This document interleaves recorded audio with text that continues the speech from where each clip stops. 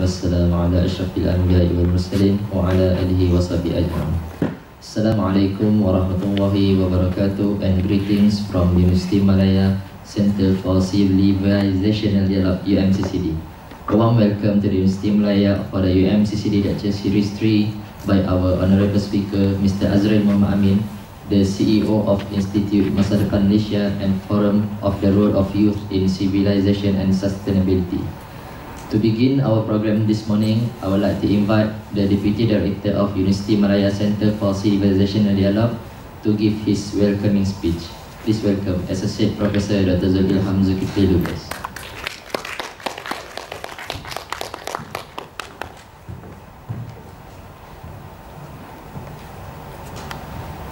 Uh, Assalamualaikum warahmatullahi wabarakatuh uh, and a very good morning.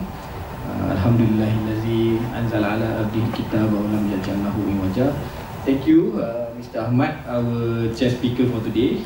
Uh, Assalamualaikum and very good morning to Mr. Azril Muhammad Amin uh, Chief Executive Officer of Institute Masa Depan Malaysia MASA Mr. Faisal Abdul Aziz President of Angkatan Belia Islam Malaysia Habib Uh, we have here with us today too Mr. Muhammad Hafiz Nudin, Director of Finance di Yayasan Teach for Malaysia.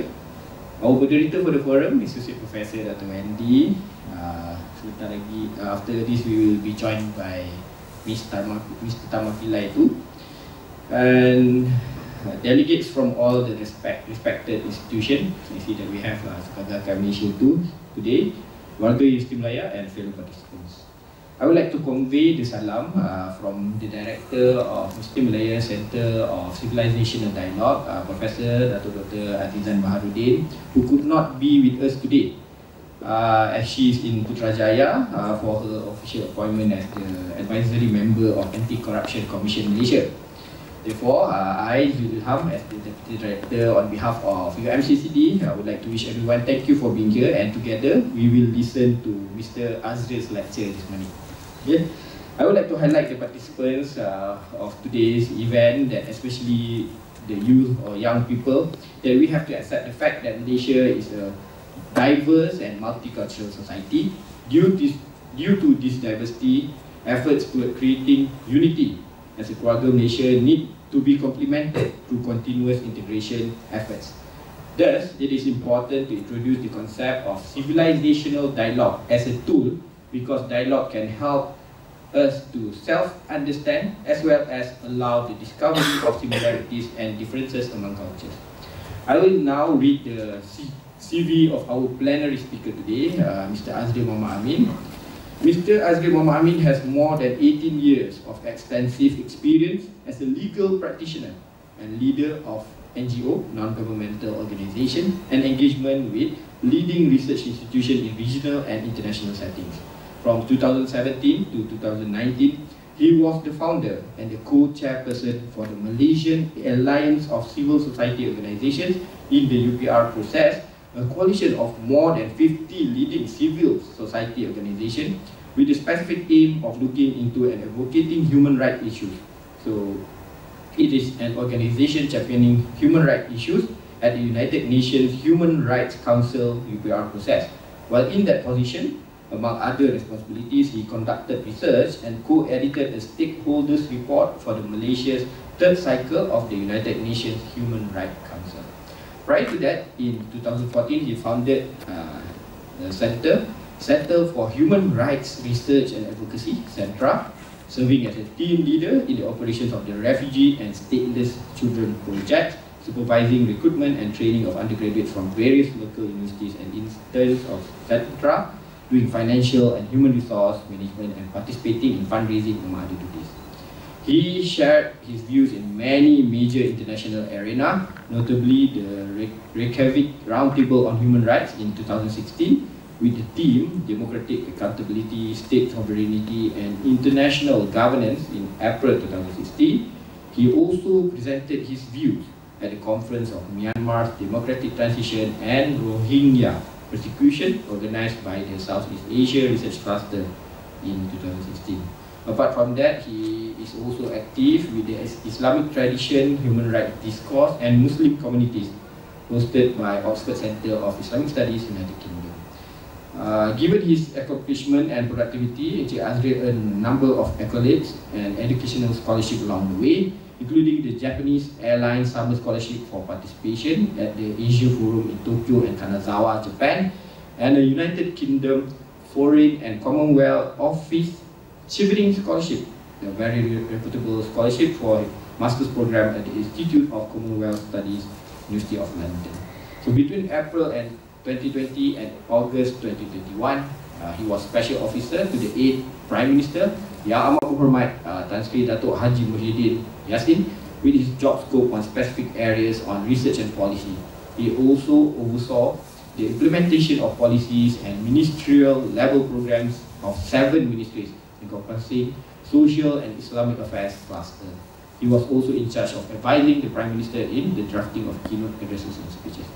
So, without any further ado, I would like to invite Honorable Mr. Azril to deliver his plenary lecture today. Yours.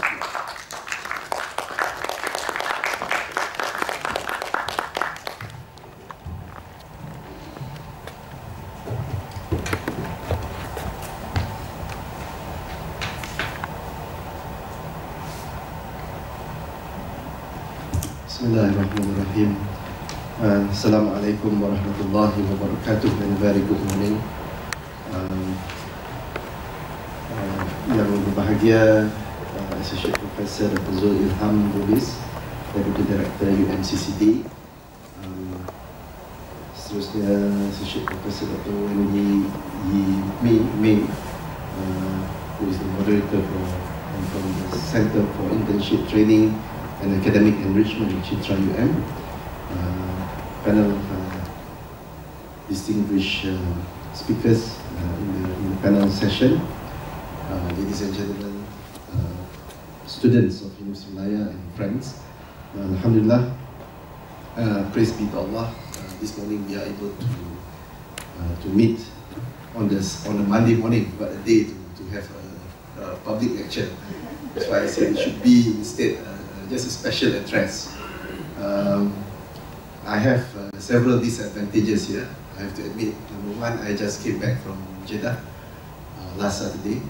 I'm still not recovering fully from uh, jet lag and also I'm having some, some cough and uh, running nose.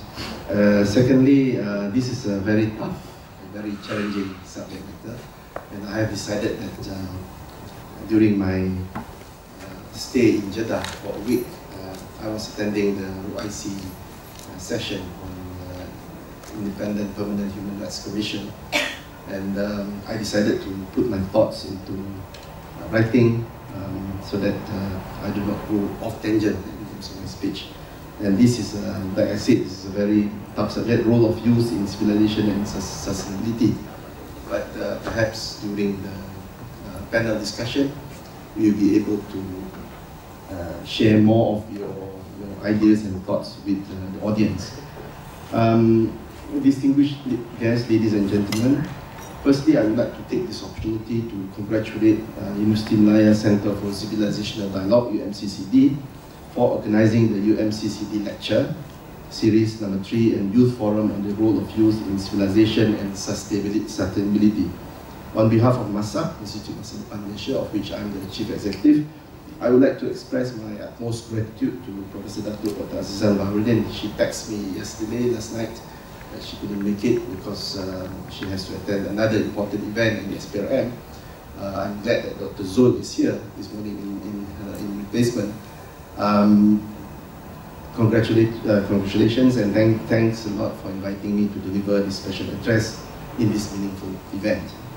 Uh, ladies and gentlemen, the theme of today's forum is particularly relevant at this moment in the history of Malaysia, the history of the ASEAN region, and indeed the history of the world. Let me tell you why. The world of my generation, my father's generation, even my grandfather's generation, existed within the framework of a fixed international order established after World War II. Broadly speaking, this was the era of globalization and neoliberal economic doctrine.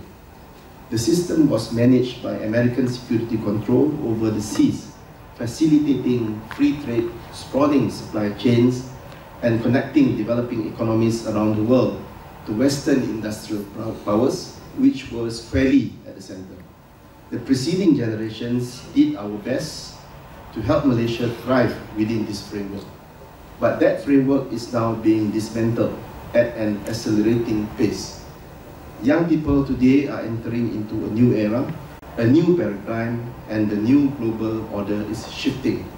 We are moving rapidly towards a deglobalized world, and the transition is not without peril.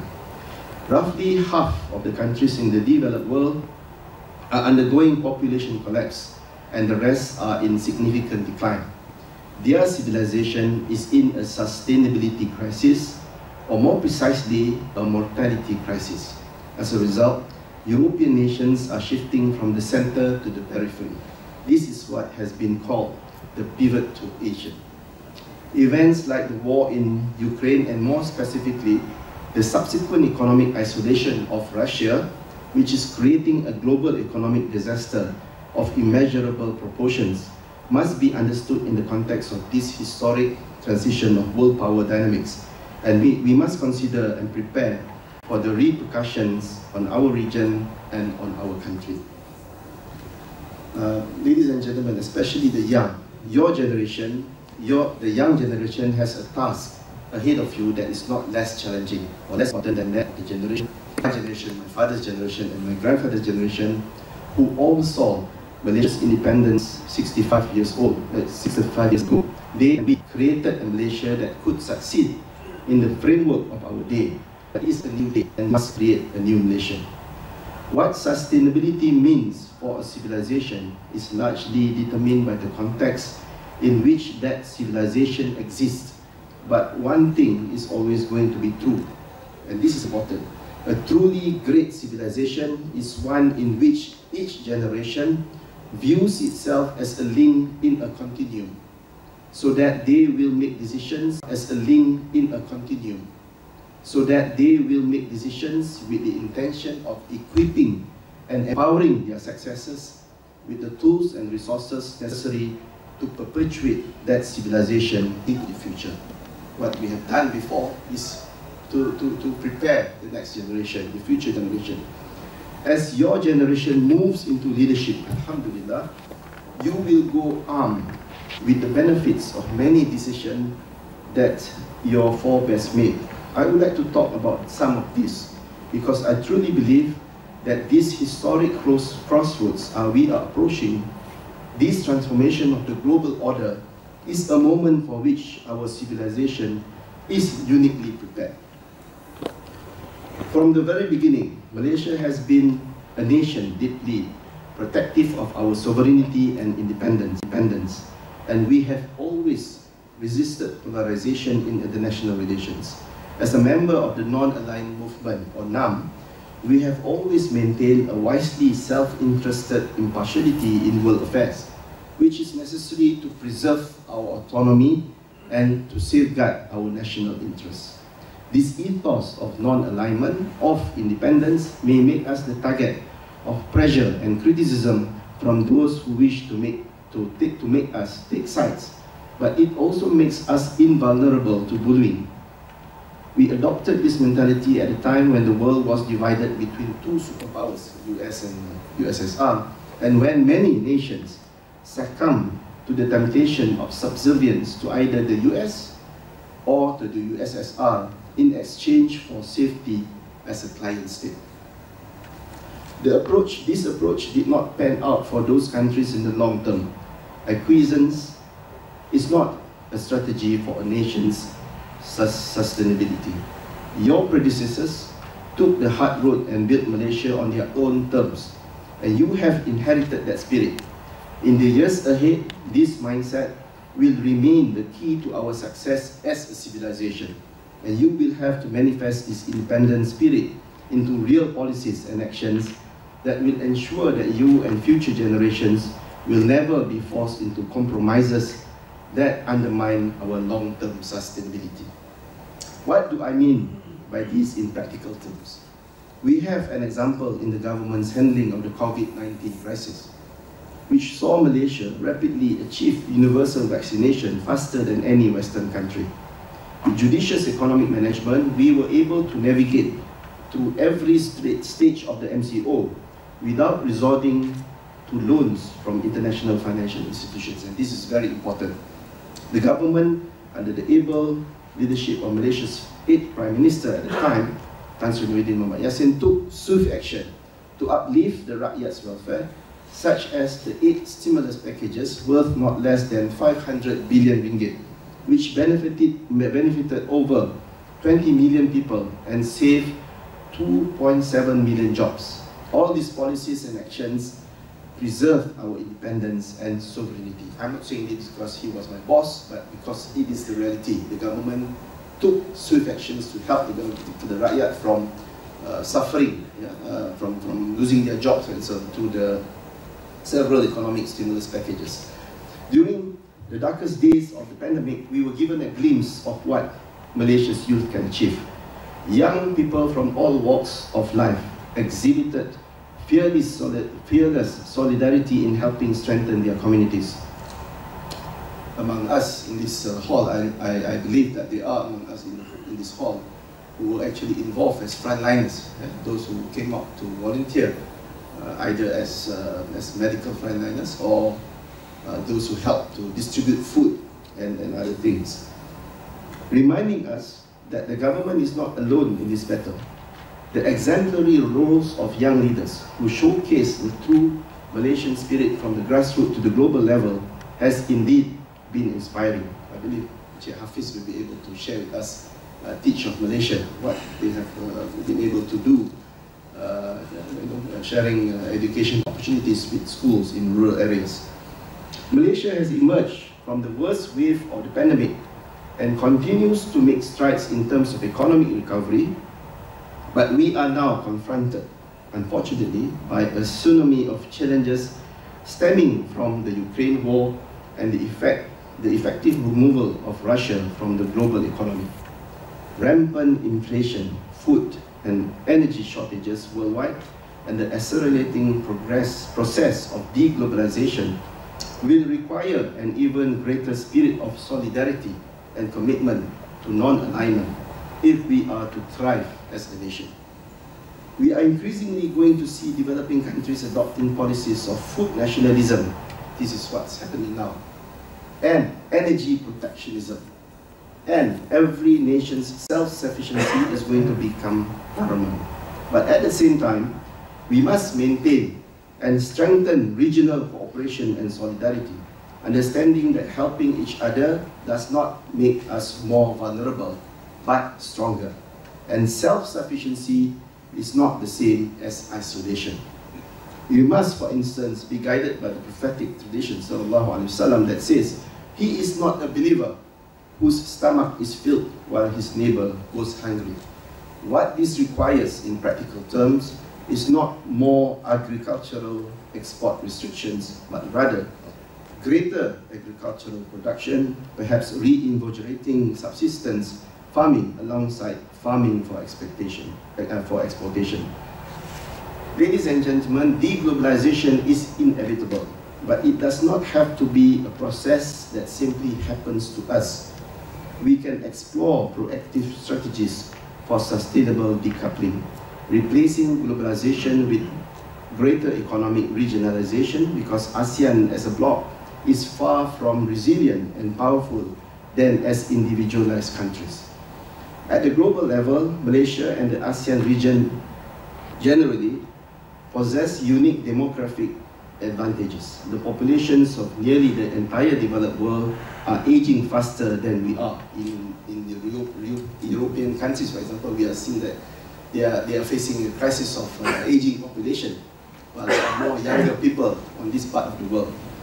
Our importance as a consumer group, a labor and talent pool a source of natural wealth and human potential, is making our nation and our region the geopolitical and economic center of the world.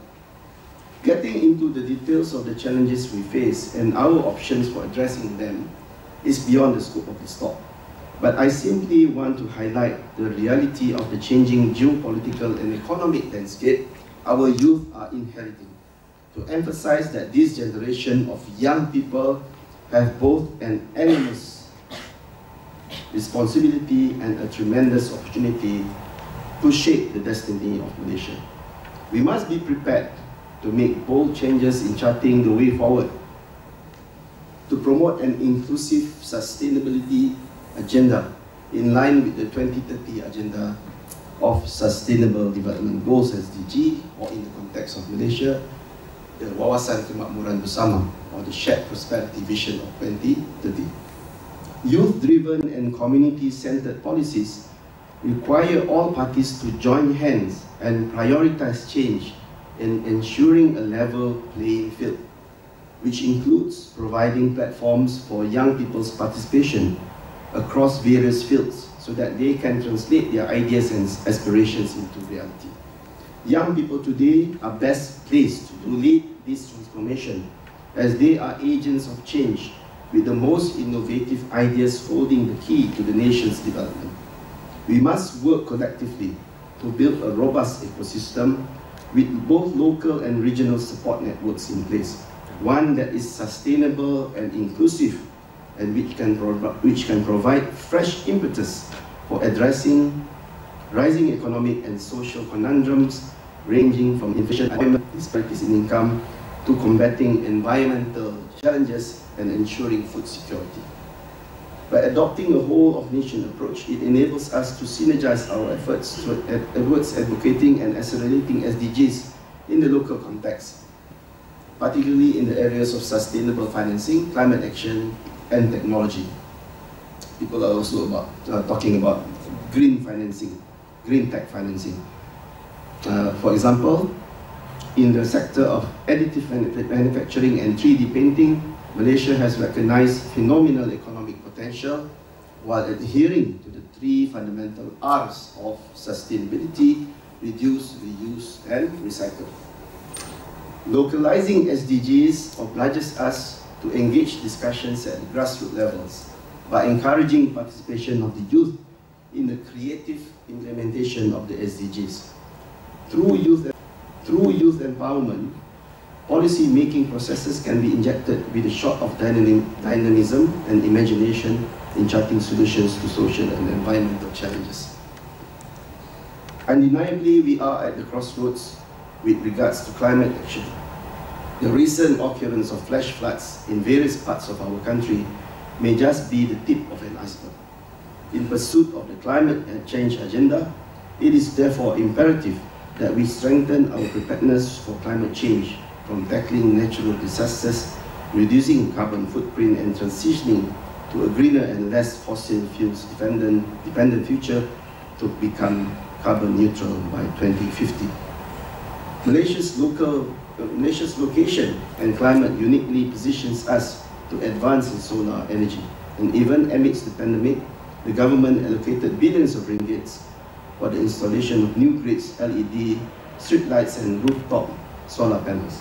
These measures are not only good for the environment, but they establish custodial control over the distinct resource of Malaysia's sunlight, which could eventually be sought as an energy source for the cooler, darker countries of the global north providing future Malaysians with a valuable potential export and greater economic leverage. These are the types of decisions made by the past and present leaders to equip our youth to shape a better future for our country. We can do better, the young generation can do better.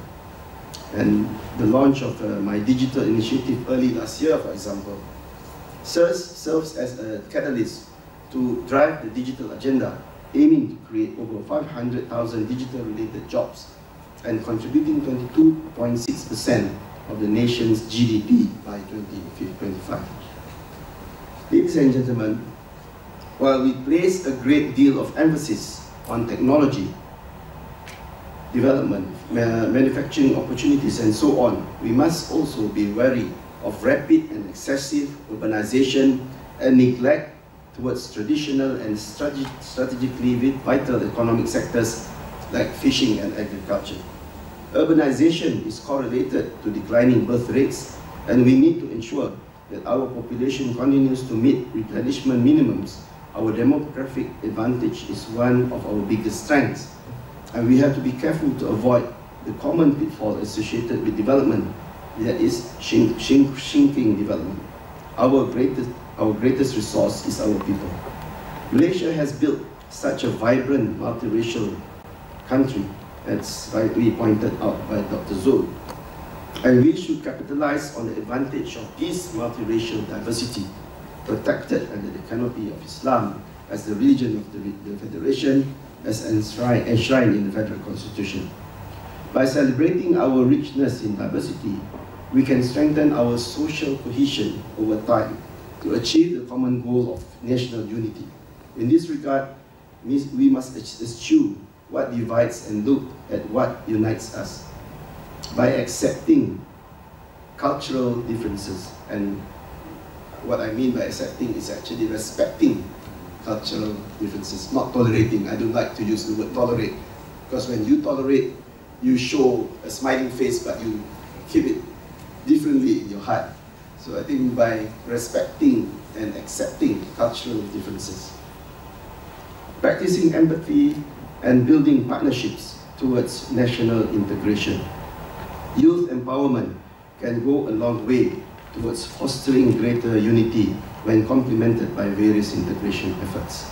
To this end, we can appreciate the importance of the dialogue of civilizations in engaging with the younger generation. It is only through interactive dialogues like the lecture series today that we can continuously cultivate and intellectual discourse on the concept of civilizational dialogues.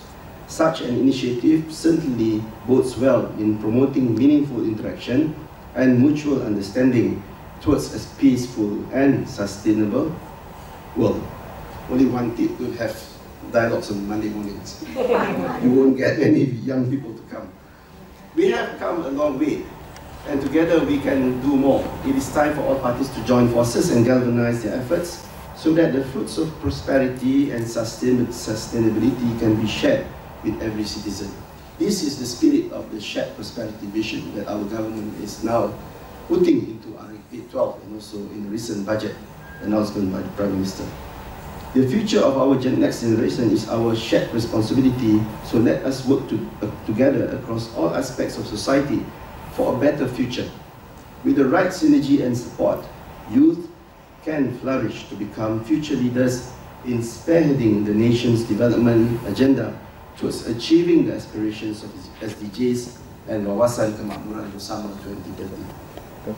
Ladies and gentlemen, when I am reflecting on the dramatic transformation of the global order and the many daunting challenges that lie ahead of us, I admit that I worry as a father, as a Malaysian, as someone engaged every day in the issues that confront us but it is when I look at the youth with their energy, optimism, enthusiasm, creativity, and with their compassion, faith, and confidence, as I am looking out at all of some of you now, my worries turn to assurance and hope. The challenges are tough, but you are tougher, smarter, and your spirit is undefeatable. It is not mere hyperbole to say that we are beginning an era in which we can achieve civilizational greatness and I firmly believe that your generation will take us there. Lastly, I would like to commend the efforts by the UMCCD for turning this forum into a reality. It is my hope that this event will produce constructive exchanges of dialogue and ideas for the betterment of the younger generation and the value it offers towards the nation's recovery. Ladies and gentlemen, your attention means a lot to me. I am very grateful that you have listened to me today. I wish all of you a fruitful deliberation. Thank you. Wabillahi taufiq wa hidayah. Assalamualaikum warahmatullahi wabarakatuh. And very good day.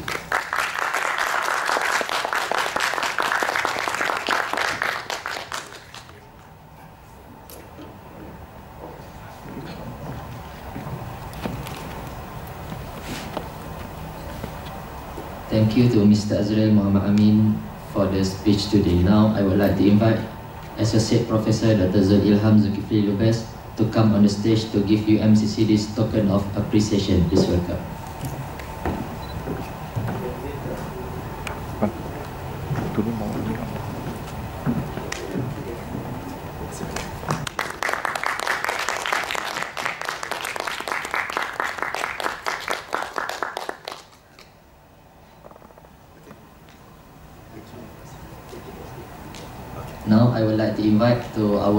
Moderator and panel members to take uh, to come in front for the group photo session.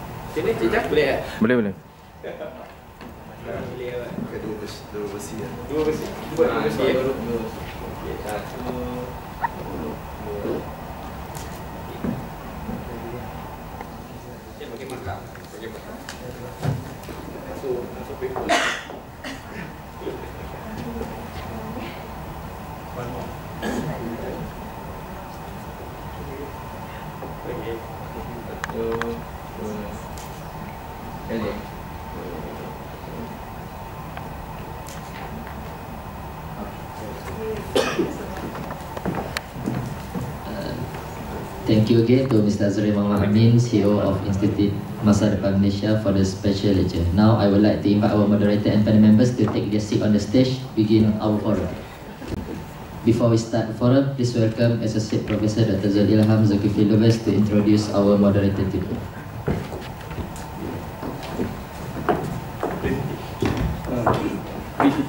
Thank you uh, Mr. Ahmad. So before before we move on to the forum, uh, I would like to thank uh, Mr. Azrael for his uh, lecture just now. We could take notes uh, on various youth rules that is paramount uh, for us to fulfill the shared prosperity vision of Malaysia as well as to realize the sustainable development goals in 2030. So I would like to take some time to introduce our moderator today, Associate Professor Dr. Wendy. So Associate Professor Dr. Wendy Yee is the Director at the Center for Internship Training and Academic Enrichment, CITRA, University Malaya. She specializes in the field of youth development, inter-ethnic relations, global citizenship education, and peace education. So those are the big words today. So she has close to 20 years of teaching and research experience with the institution of higher education. In her capacity as an academic, she has developed a course on introduction to peace and humanity studies and through this course, she has trained many young students to become peace advocates and transform them to become valuable members in the society. Dr. Wendy Yee is currently an international fellow at the King Abdullah bin Abdul Aziz International Center for Interreligious and Intercultural Dialogue, KAICIID, a very reputable fellowship of, a world-renowned institution that trains people to pursue interfaith dialogue for peace. The current work as a fellow in KAICIID is to develop a module that integrates the elements of GCED into interfaith and intercultural dialogue. Her scholarly achievements have also been recognized by the Institute of Youth Research under the Ministry of Youth and Sports Malaysia, where she has been appointed as the think tank for this national institute. Looking at the national youth related matters including developing the Youth National Index. She has published in, of course, international journals, books, and also presented papers in both both local and international conferences. Now I would like to welcome Dr. Wendy to take over from me and moderate the forum. Dr. Wendy, the floor is yours.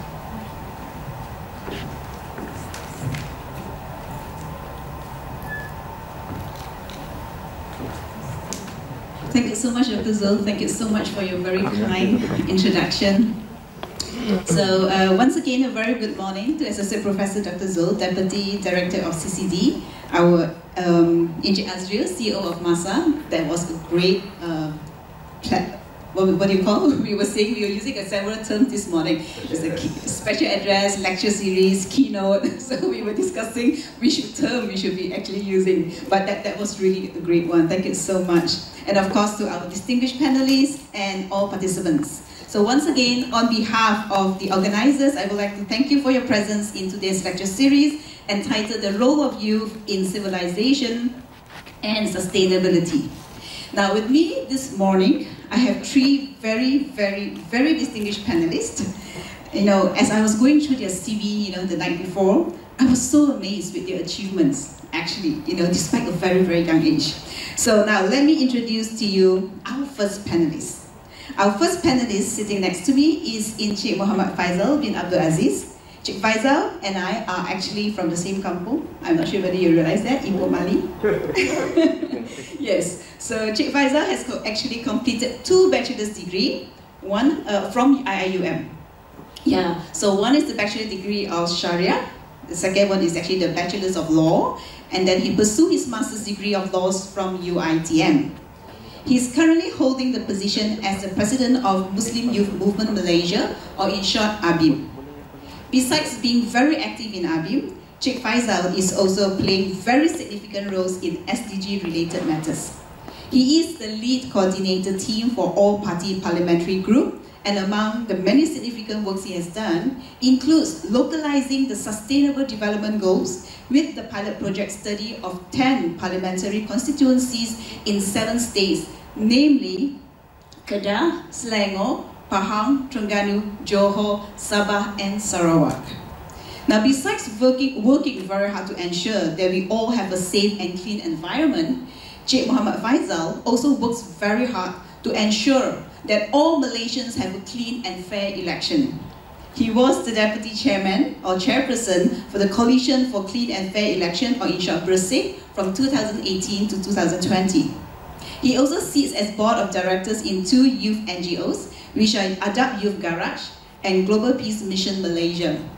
And finally, some of you might have also read his articles before in Malaysiakini Portal because he is also a columnist for Malaysiakini Portal. So Cik Faisal, we are so proud and so honored to have you with us this morning.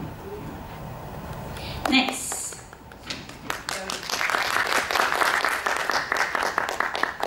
Now, my second panelist today I would like to introduce to you the face of a true genius. He scored 10 A's with 9 A plus and 1 A for his SPM examination. I have no idea how he did that. I have no clue. Probably we can actually interview and ask him about what's the secret to his amazing results. So this genius is none other than Mr. Tharma Pillai. Mr. Tharma Pillai received his bachelor's degree in mining engineering from Virginia Polytechnic Institute and State University.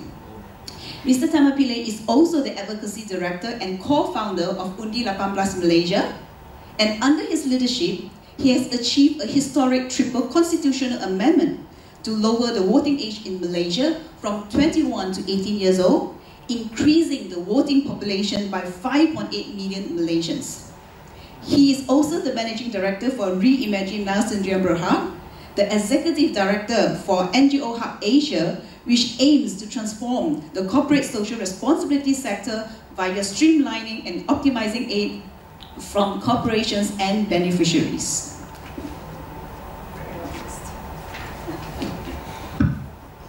His active involvement in NGOs and incredible passion in democracy-related activities has earned him many prestigious awards and recognition both locally and abroad.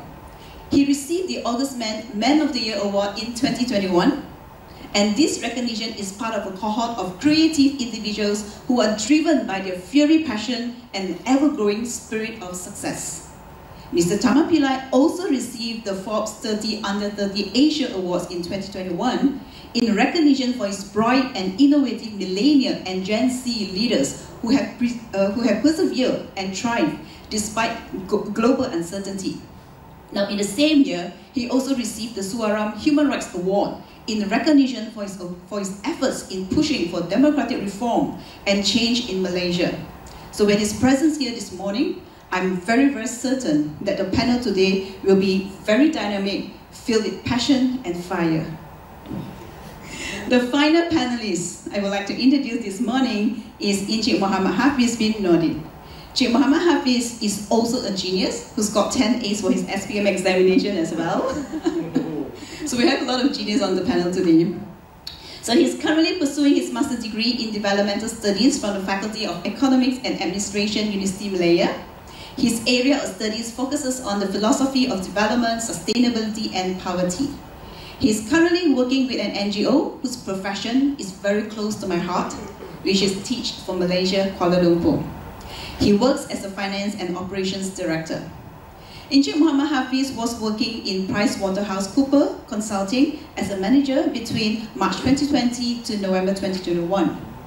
As a manager, he has led the implementation of waqf investment product from pre-emergency waqf fund set to set up in Malaysia.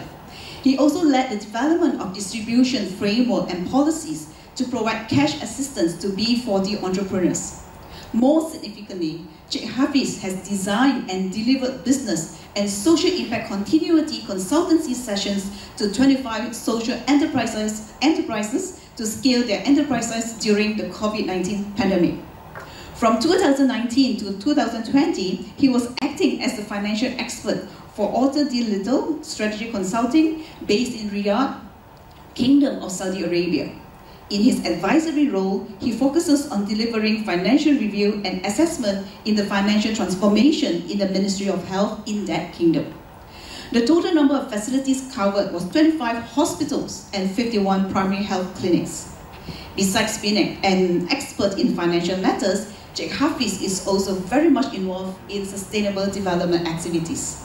Between 2017 to 2019, he was the assistant manager for business development and responsible investing in Synergy Seas Berhad dealing with renewable energy. With that, he has led four business development engagement to promote rooftop solar and energy efficient projects in northern region of Malaysia, as well as the development of sustainable school program that brings renewable energy solutions to private and public schools in the country. Wow, that was a mouthful, right?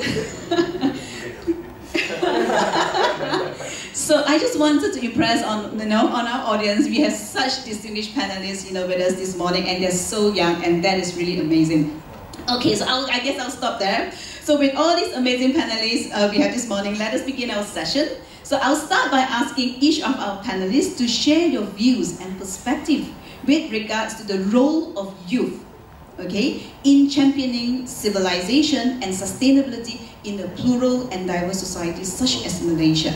Now, each panelist will have five minutes to share your views on that topic. So probably I'll start with Faisal. Yeah.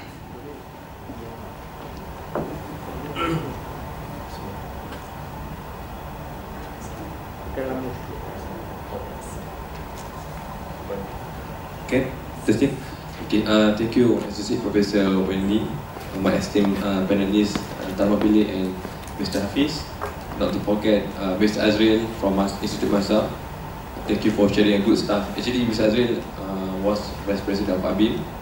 And not to forget also uh, our neighbor, Soka Gakkai. Their office just next door to ABIM. Uh, uh, our friend from Institute Masa and uh, members of the floor. And also Professor Zul Ilham uh, from UM Center for Civilization, Civilization and Dialogue. Okay, uh, my first take, I think uh, before I proceed, uh, I think we will agree that uh, we organize this forum uh, on one premise that we are now in a polarized society. When we are talk about polarized society, it doesn't mean that uh, just only in Malaysia, but also across the globe.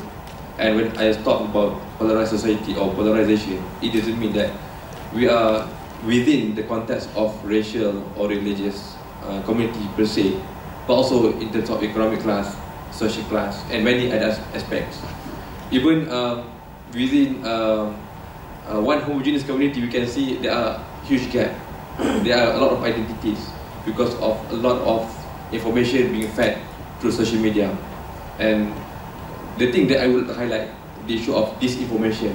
I think uh, when we talk about disinformation, uh, you know, certain uh, false information being propagated by certain quarters, irresponsible parties, for example, to huge or to extend a gap between within our polarized community. So that's why now we live in this polarized society. We always look at the differences. Yes, of course, we need to appreciate differences, but at the end of the day, we always look at the differences. When we we have a lot of issues, there are a bunch of issues. We always see that through the perspective of differences. Be it vaccine, we have a lot of identities like anti-vax or vax, uh, pro-refugees, anti-refugees, political uh, differences, for example, Islamophobia, xenophobia. There are a lot of differences.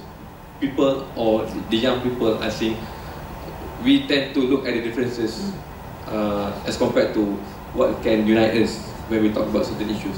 And when we talk about this information, what concerns us more is about the youth because youth are the main consumers of social media.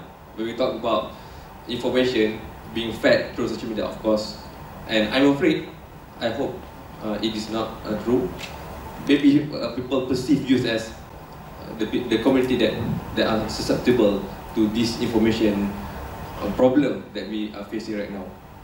And uh, so, for, for us, engagement matters, and that's why we need to have like this forum to redirect the youth, to have more interactions, dialogue, uh, to look at the similarities, uh, even uh, to have more engagement or interactions. I would like to share, for example, our engagement with FGIS, Friendship Group of Interreligious Services. When we have those kind of engagement, so we can deal with the problem, be it Islamophobia or racial tensions, religious hatred, for example, in a peaceful way.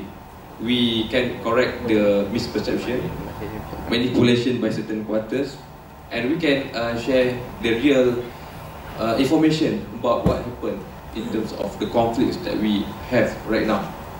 And uh, looking at the bigger picture, when we talk about civilization, uh, we are the Southeast Asian communities, we have our own legacy.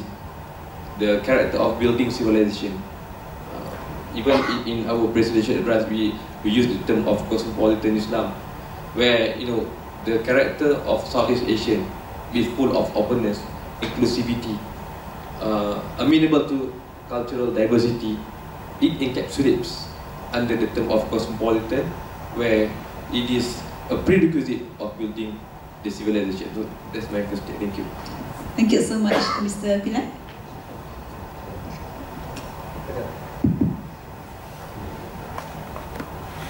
Thank you very oh, sorry, can, can you hear me? Yes. Thank you very much uh, for the invitation. I think uh, this conversation is something that's so important, especially while we face a, sort of a global crisis, a national crisis, and a crisis of confidence and of faith. I think this is something that we are facing not only in Malaysia, but it's something that we're facing all around the world.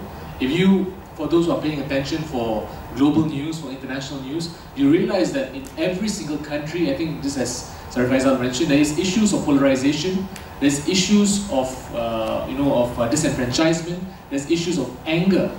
But I think the core element that I want to point out, especially when it talks about civilization, I think when, you, when it comes to civilization, it's always a sense of building, right? And you can only build if there is a sentiment or an idea of what you're building towards. So for me, one of the biggest crises that we're facing internationally, but also within our country, is a crisis of uncertainty, which is a crisis of the lack of hope. I think that's really the big issue. Um, of course, there's, there's many ways to describe this, but I'm just simplifying it in, in I think the, the manner that I think is, is most easy to understand, which is a crisis of hope, a crisis where we are uncertain about our future, we are uncertain about the direction of this country, we are uncertain about the global economy, and we are uncertain about our own selves where will we be in the next five, ten years, right? Are we going to migrate? Are we going to still be in the same place? Uh, is Kuala Lumpur an appropriate place, right? These are all questions that we are asking ourselves, right? I think people on social media, that there's so many issues, you know, worried about banjir, uh, this and that, but in the end, I think it goes back to this idea of uncertainty and this discomfort. I think to add to that issue is of course this bigger crisis that we're all discussing more and more, the issue of climate change, the issue of a climate emergency, and what can we do in order to reverse certain trends that have been getting worse and worse. Of course, Malaysia is a relatively safe country compared to many other countries that are greater victims or, or at greater risk at climate disasters. However, we are still victims too. Issues of flooding, issues of extreme weather, issues of uh, you know, deforestation, I think these are all affecting us in the end. And I do think that this is something that affects many Malaysians as a whole because it's essentially the idea of what is our future and how do we build towards it. So I do think that this is part of the civilizational question that we must ask. How do we ask the right questions and how do we then find the right answers for us to build together and then work, to, work together towards finding this common solution. I think that's where the, the role of youth comes in. I'm a firm believer in youth with Undi 18. I think, uh, I think as you all know, uh, with 5.8 million new voters that are coming into the electoral picture, young people are now the majority of voters in this country. So when you look at people who are 18 to 40 years old, uh, you are now about 58% of the electorate. 58% are young people. I think this is an important value because it means that young people have the numbers to chart our country's future and destination, but the question that we will have to ask ourselves in this time of uncertainty, in this time of conflict, in this time of lack of clarity, can we as youth find a common ground? Can we find a common agenda? And can we find a common solution that we can work towards together in order to build a better civilization together better climate together and a better future together, whether it is you're talking about a national um, issue, a regional ASEAN level, Asia Pacific issue, or even a global level.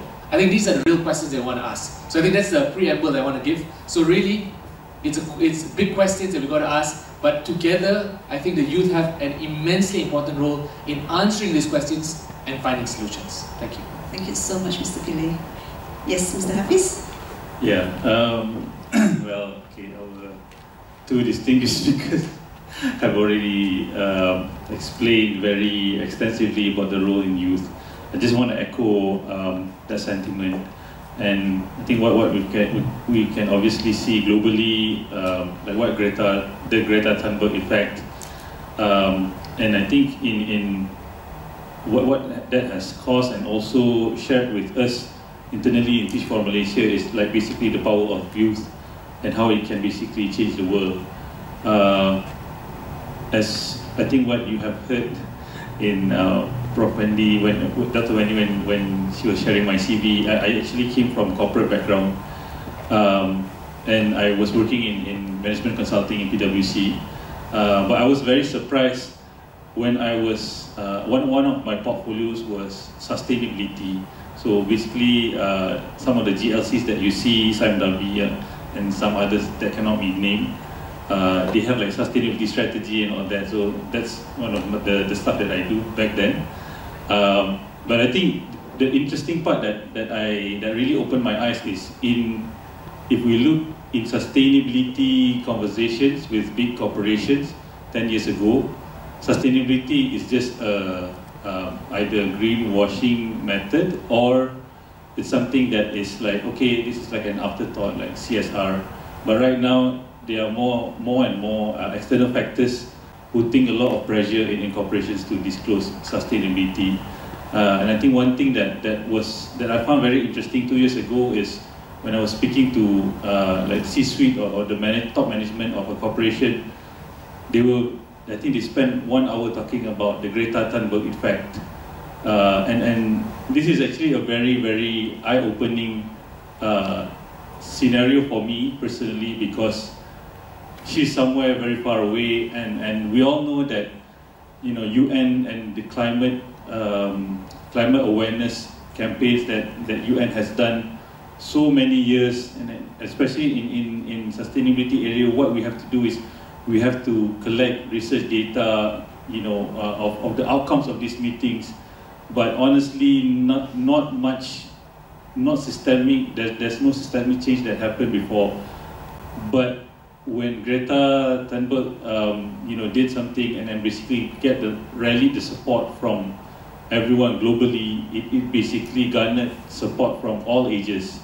Yeah, people from in, in, sitting in the board of uh, directors of companies, uh, people in schools uh, going down to, to, to like climate change rallies on the street and you have teenagers, the youth and everyone else. So I think that that is the power of, of youth, uh, youth voices as well. And then I think very grateful that we have movements like Undi 18 and also ABIM, Angkatan Belia to be present in, in, uh, in Malaysia, if not in the world, uh, to basically amplify these, these youth voices.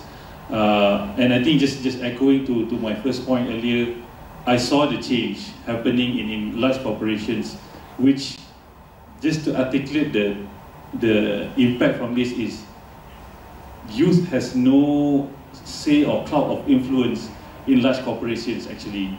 But, be, but it's so amazing that how, you know, by, uh, you know, having a lot of resilience going down and just rallying about the same cause, about you know what's going to happen to our future generations, what's happen, what's going to happen in the next 20 years to, to this planet Earth. They have managed to create an impact in so many pockets of, of uh, societies and communities, uh, and, and especially the you know the people who are in power. So I think that, that is my personal view of, of uh, you know the power of youth in sustainability and also building a civilization. Thank you so much, Chief Hafiz. I think that's that's really amazing. That's you know a very powerful point you know that he shared. You know, even though uh, very seldom we see young people have a very significant role in large corporation, right? But how you know the Greta Thunberg effect can actually you know influence such big corporation as well at the end of the day, right? So I think I think the message is really you know as young people, how do we have that kind of confidence that we can make a change, right? So going back to the points that the panelists have made earlier, uh, I would like to address Chief Faisal. Um, so you talk about um, the challenges of polarization, especially you know in, in, in terms of the use of social media, right? I mean, in today's generation, everybody is so exposed to everything online, and there's so many things online. So the question I have for you is, how can young people counter these or those challenges of polar polarization that they, that they encounter in the social media? How do they know whether those things that they are consuming in the social media are, are right or wrong? You know, I mean, they are so, you know, they're so influenced by so many things online. So how do they develop that ability to be able to tell what is right and what is wrong? So, yeah.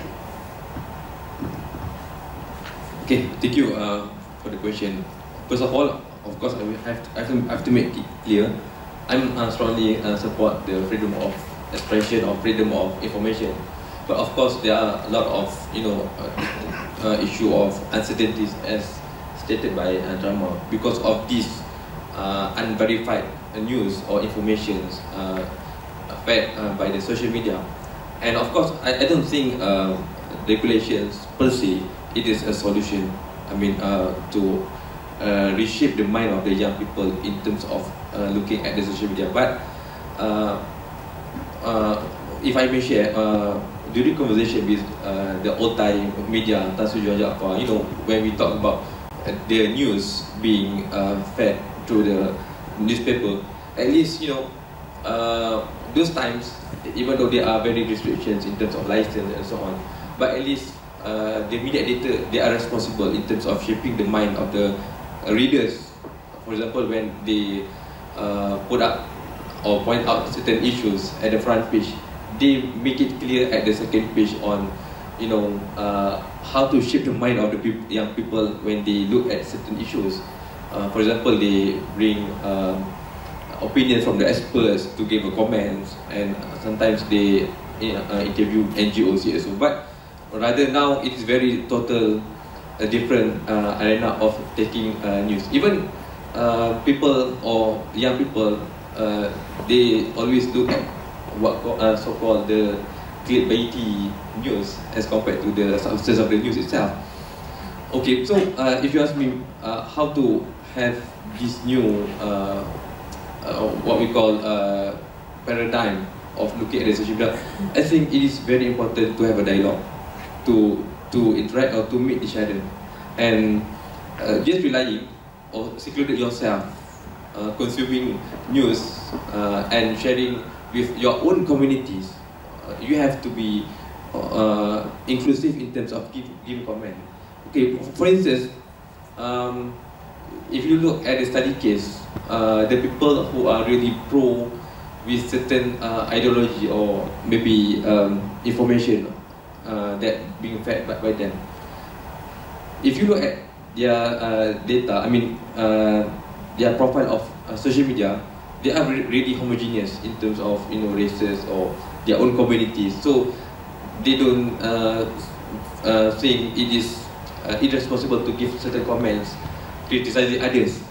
So um, that's why sometimes when people say that social media is something that uh, can open the mind of the people, I, I think we have to recheck whether it is true or not. Because you know sometimes social media, even when you have Twitter, when you have uh, Facebook, you have to see uh, the profile of your Twitter or Facebook friends. Basically, those are really homogeneous. Uh, they don't think it is you know irresponsible to share certain untrue stories about others, uh, about refugees, about what, whatsoever issues that can uh, create conflicts. So at the end of the day, it, is very important. Uh, instead of just consuming news from social media, let's having uh, like talk or even uh, have more engagement with the rest of the people.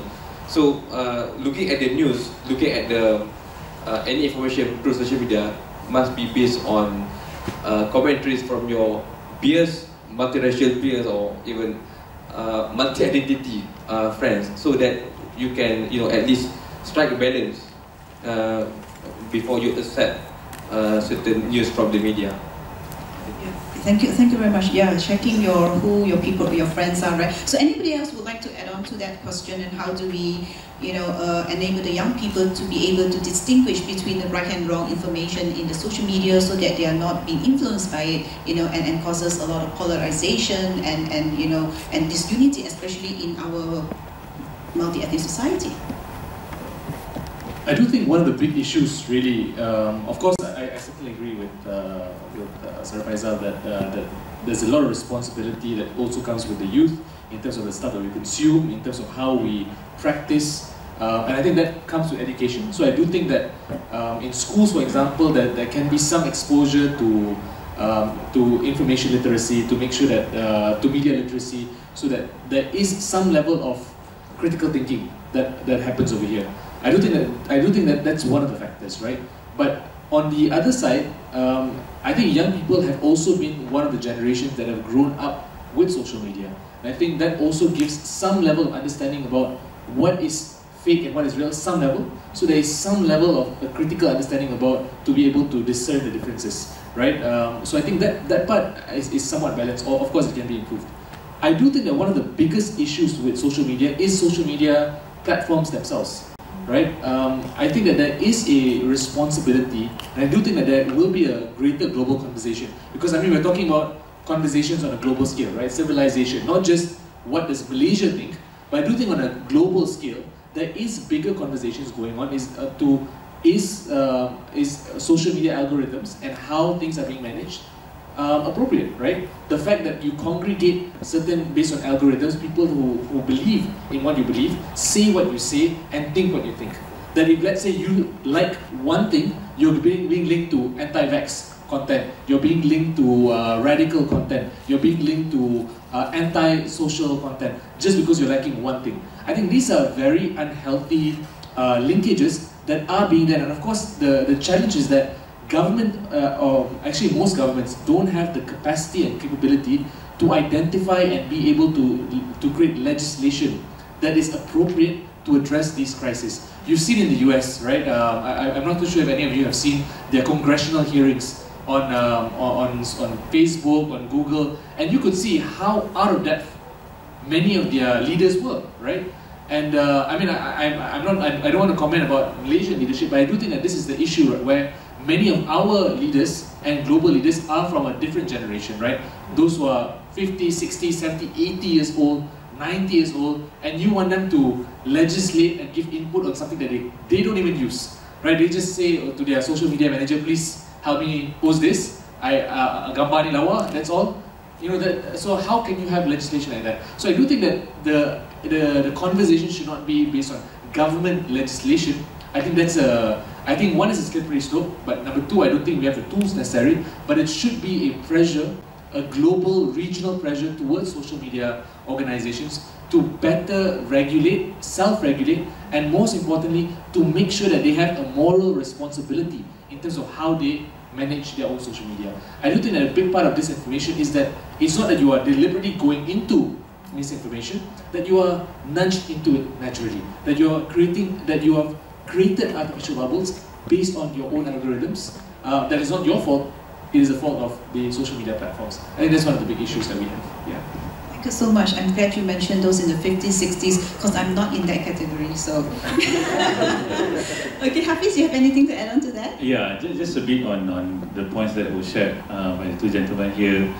Um, I think, like what Tharma said, the and, and what I've observed in the in schools today, primary schools and also secondary schools, they are actually very much okay with consuming uh, social media content and using gadgets to, to basically learn from like YouTube and different other learning platforms because they grew up with it.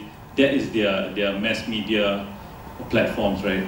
Compared to, and I think what, what I'm worried about is the the earlier generations, i.e., their teachers, the school principals, and all that. They are the ones who actually show more uh, macam deviation to other areas. So so like polarization, uh, like anti-vax and and pro-vaccine. You can see that clearly among the teachers in schools.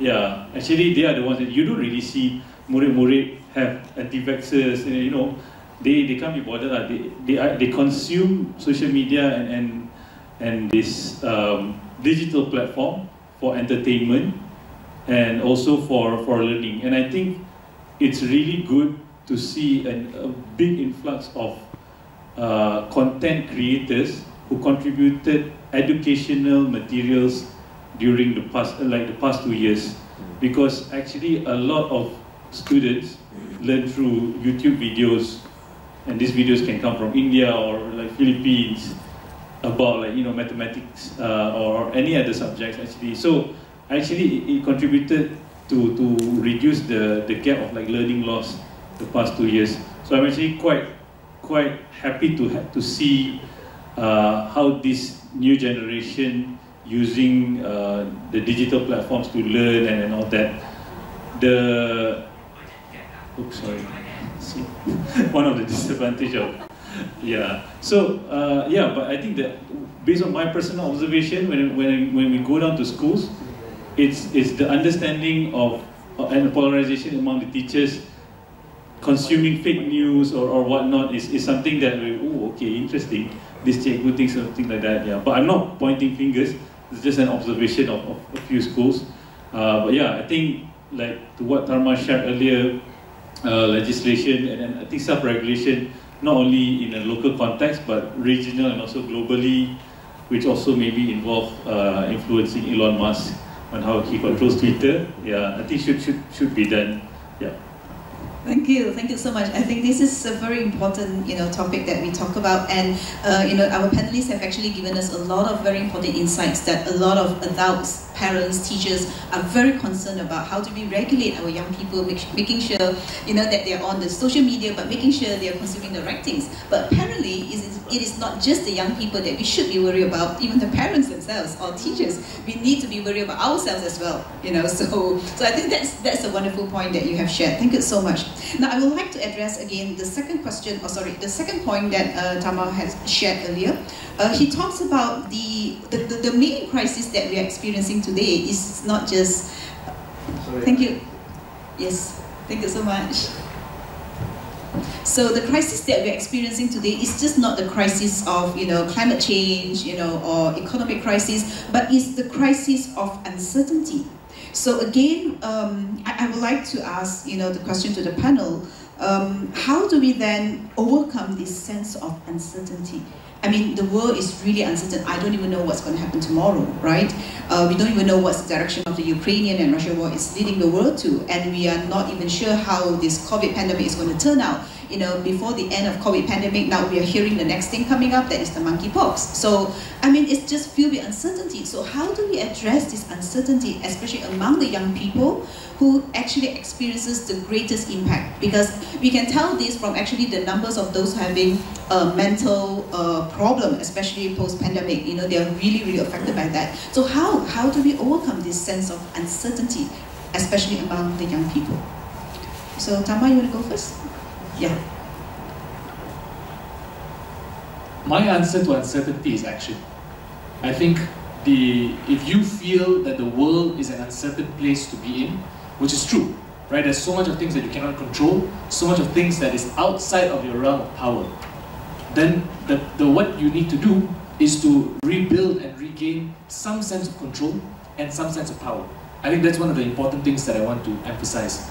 Uh, but what does this even mean, right? When it says take back power and take action, it's a very big idea. What I believe is that each of you over here, young people, uh, middle-aged people, older people, all of us have a sense of ability of our sphere of influence and control. What can we do in our lives to make things better for things around us? What can we do to advocate for change? But also, I think very importantly is that we have to stop delegating and giving away our power to other people. Right? Think that's something that's very important. For far too long, I've, I, I believe that, you know, like for example, you look at the process of politics and democracy. Our idea of politics and democracy is that let's just vote once every five years. Okay, I already chosen my leader, my MP, my adun. Okay, you guys just do whatever it is you want. I will just do my job, I will just relax. Next year, five years time, I'll go and vote again, right? I'm not saying that elections are bad. I'm a big believer in democracy. That's why we did Undi 18 and we fought for the right to vote. But I want to also emphasize this, that democracy only begins with the ballot box. The process of democracy must continue throughout your life, continue throughout your year, and continue throughout, throughout your days. That's how you build a better nation together. So I think that's the question that we all have to ask, because often we've just delegated parts of our life to other people to control, whether it is economy, whether it is uh, our own social movement, and whether it is our own voice. So I do think that it's time for us to regain it in order to be able to address this uncertainty. Because again, I want to want to share over here that uncertainty fundamentally happens because you cannot have the ability to even chart your way forward. You don't know what is your future, and of course there are many global economic issues that are playing a part that makes it difficult, but there are many local issues that you should be able to control, that you can make better, right? Uh, for example, if let's say there's issues of food security, how do we then make sure that we have we don't have only cash crops like for example palm oil and we also have more food sustainability and also food security related crops. For example you, you can see the the rise in, uh, in chicken prices recently right? It's because we are entirely reliant on other countries to get our corn to get our wheat which is the food that we use to give our chickens. So even though we have a decent uh, chicken industry but we don't have that basic thing. And there are many elements. Our rice is 60% imported from other countries. These are all real issues that we can address based on public policy, based on our own national consciousness. But the question that we all have to ask is that we have our sphere of influence, right? What are we doing? And that was the question that I asked back in 2016, 2017, when we started Undi 18, and we realized, you know what? I was an engineer working then, um, so I was a full-time engineer, and I realized, you know what? I want to try to do more for my country. So let's try this out, let's try this movement. And here we are today with 5.8 million new voters, you know, with a completely changed uh, democratic ecosystem. So I believe that everyone over here, uh, if there are people who, who will watch this video later, I'm not sure, I don't think you're doing a live stream, right? Yeah, but I think the idea is this, that it is like, okay, alright. I think the idea is this, that each of us has ability, each of us are intelligent, each of us are capable, each of us are, have a voice how do we leverage that for change? So I think that's my answer. Thank you. Thank you, thank you very much. Uh, Cik Faizal? Yeah, just, my, just a brief. Okay, um, if you ask me, uh, the issue of, of uncertainty uh, begins from the city. When we talk about the issues, you know, keep changing. Uh, for example, in Malaysia, we have political conflicts, we have uh, climate crisis issue, uh, like uh, major floods. We have um, so many issues keep changing, it happens in the city. But we tend to forget what happens, I mean, uh, among the village folks, for example. And that's why, uh, through the discussion, even I've been with our state leaders, you know, we found out that there are a lot of more sustain, sustainable issues that we tend to forget. Uh, I mean, uh, at the grassroots, I mean, uh, among the village folks and so on. And if we just focusing on uh, the issues in the city, uh, as, as, I said, you know, when, when the issues keep changing, when there are one issues, we just uh, uh, start to have a conversation on one particular issue, and then uh, all of a sudden we have another issues that we need to face. So it, it is that kind of issue that happen in the city, and if we tend to forget uh, I mean, the more sustainable issues among the village folks, for example, uh, economic issues, they always been there uh, among the Kelantanis or in, among the uh, rural areas and so on. There are a lot of issues that uh, I could say uh, need to be uh, taken into consideration as compared to the issue in the city. So at least we know or we give empowerment to them to deal with, the, with that particular issue. And that's why, if I may share as well, we have our, our vice president now working with Change.org. It is a petition online. It is a kind of empowerment, how to empower the, uh, the young people, especially the youth uh, at the rural area to amplify their issues as compared to, uh, you know, we just give limelight to the issues that happen in the city. Uh, and that's why we always believe in this kind of uncertainty. And, and if we talk about uncertainty in politics, it also happens in terms of, you know, when we keep changing the government, and, that's why, yeah, if you can see politicians nowadays, when they are in the government, those people when they are in, in the government, they, they have to grab everything on the table because they are afraid of being, you know, uh, uh, uh, whatsoever lah, uh, uh, because the generation is just around the corner. So uncertainty happens, and last but not least, if you read the books of Pankaj Mishra, The Age of Anger, this contributes, uncertainties contributes to the anger of the people. People always want to talk about change, want to talk about uh, whatsoever uh, reform that they want because of anger, because they are uncertain. They don't know what happened next.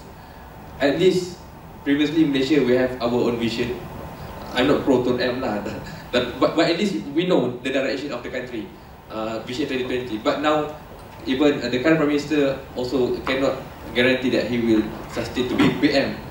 That's why I don't think he will be able to have the vision for Malaysia, for example.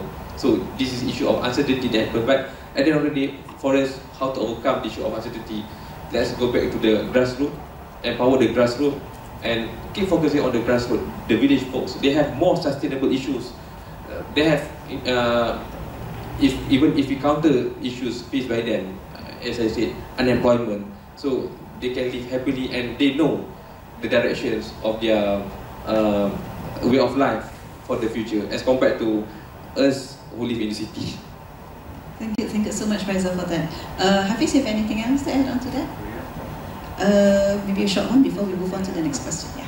Yeah, I think I think just echoing uh, the two speakers earlier, uh, to to overcome uncertainties, it's actually um, one of the things that we inculcate in TFM is, is leadership, and I think what Tharma you know started his speech with the, the how to address is through action, and I think with leadership when you inculcate leadership, you are at least you are able to control your ecosystem, your own ecosystem, be it small or big.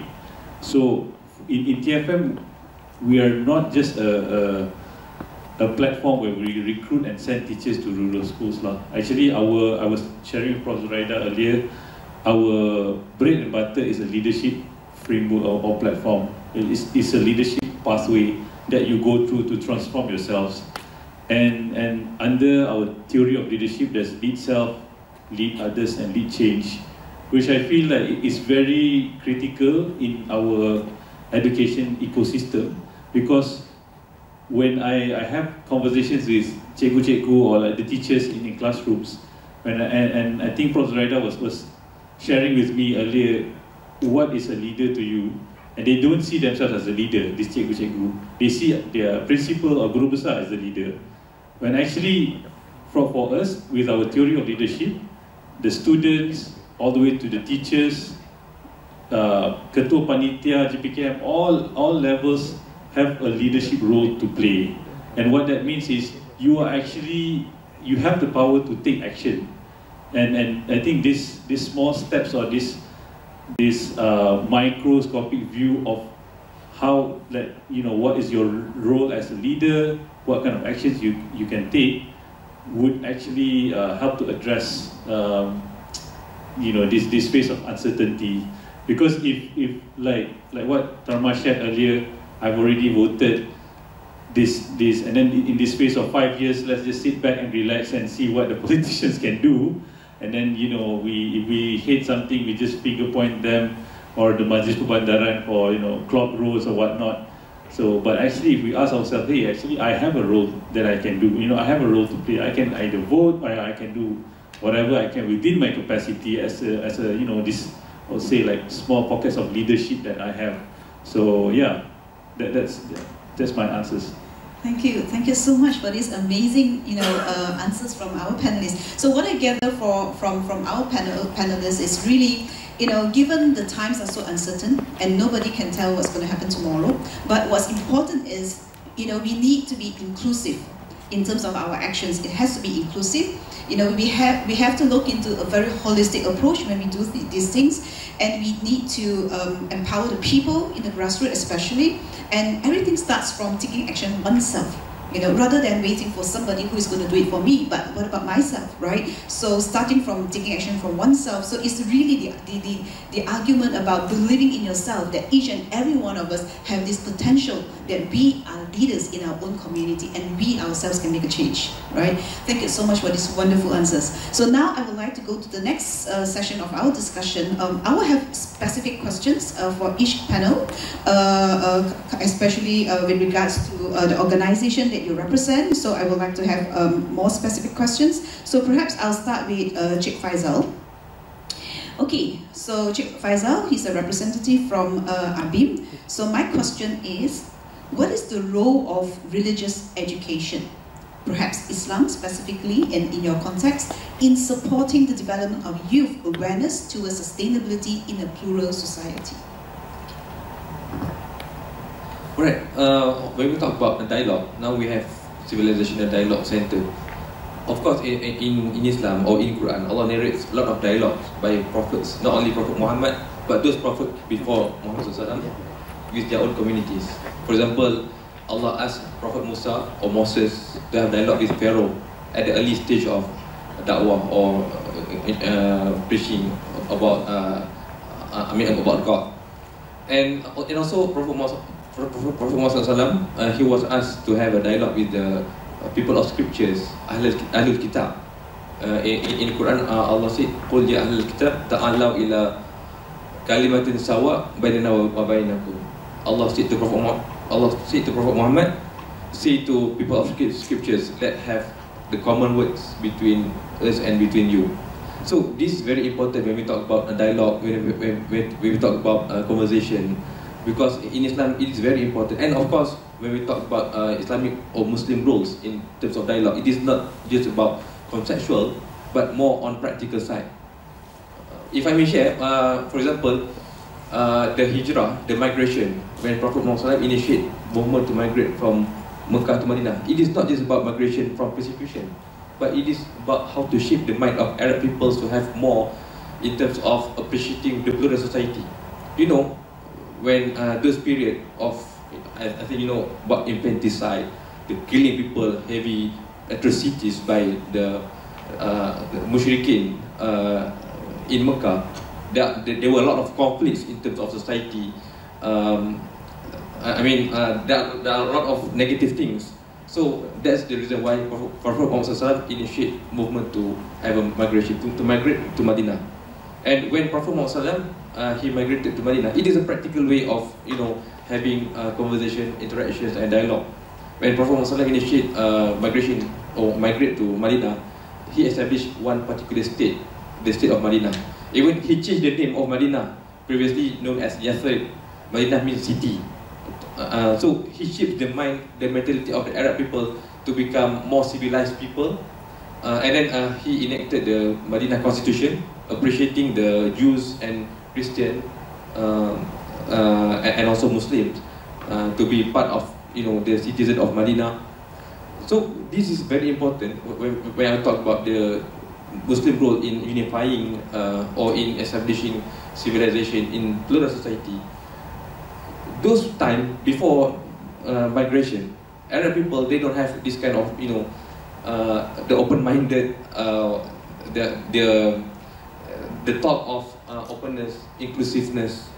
Uh, but Prophet Muhammad, when he migrated to Medina, he shaped the mind of the Arab people to be more inclusive, to appreciate differences, uh, and to share expertise. At the end of the day, when we talk about civilization, it is not just about one particular race, but it is about how to share prosperity, how to share common interests among human beings, to develop human beings. It, it is not just about um, one particular religion or race. And this practical side of the Prophet Muhammad when he managed to establish one state of Madinah, he shaped the idea of uh, openness, inclusivity among the Arab peoples itself as a profound basis of the civilization. And uh, after you know after the death of Prophet Muhammad we can see the huge civilization in Spain, in Syria, even in Baghdad.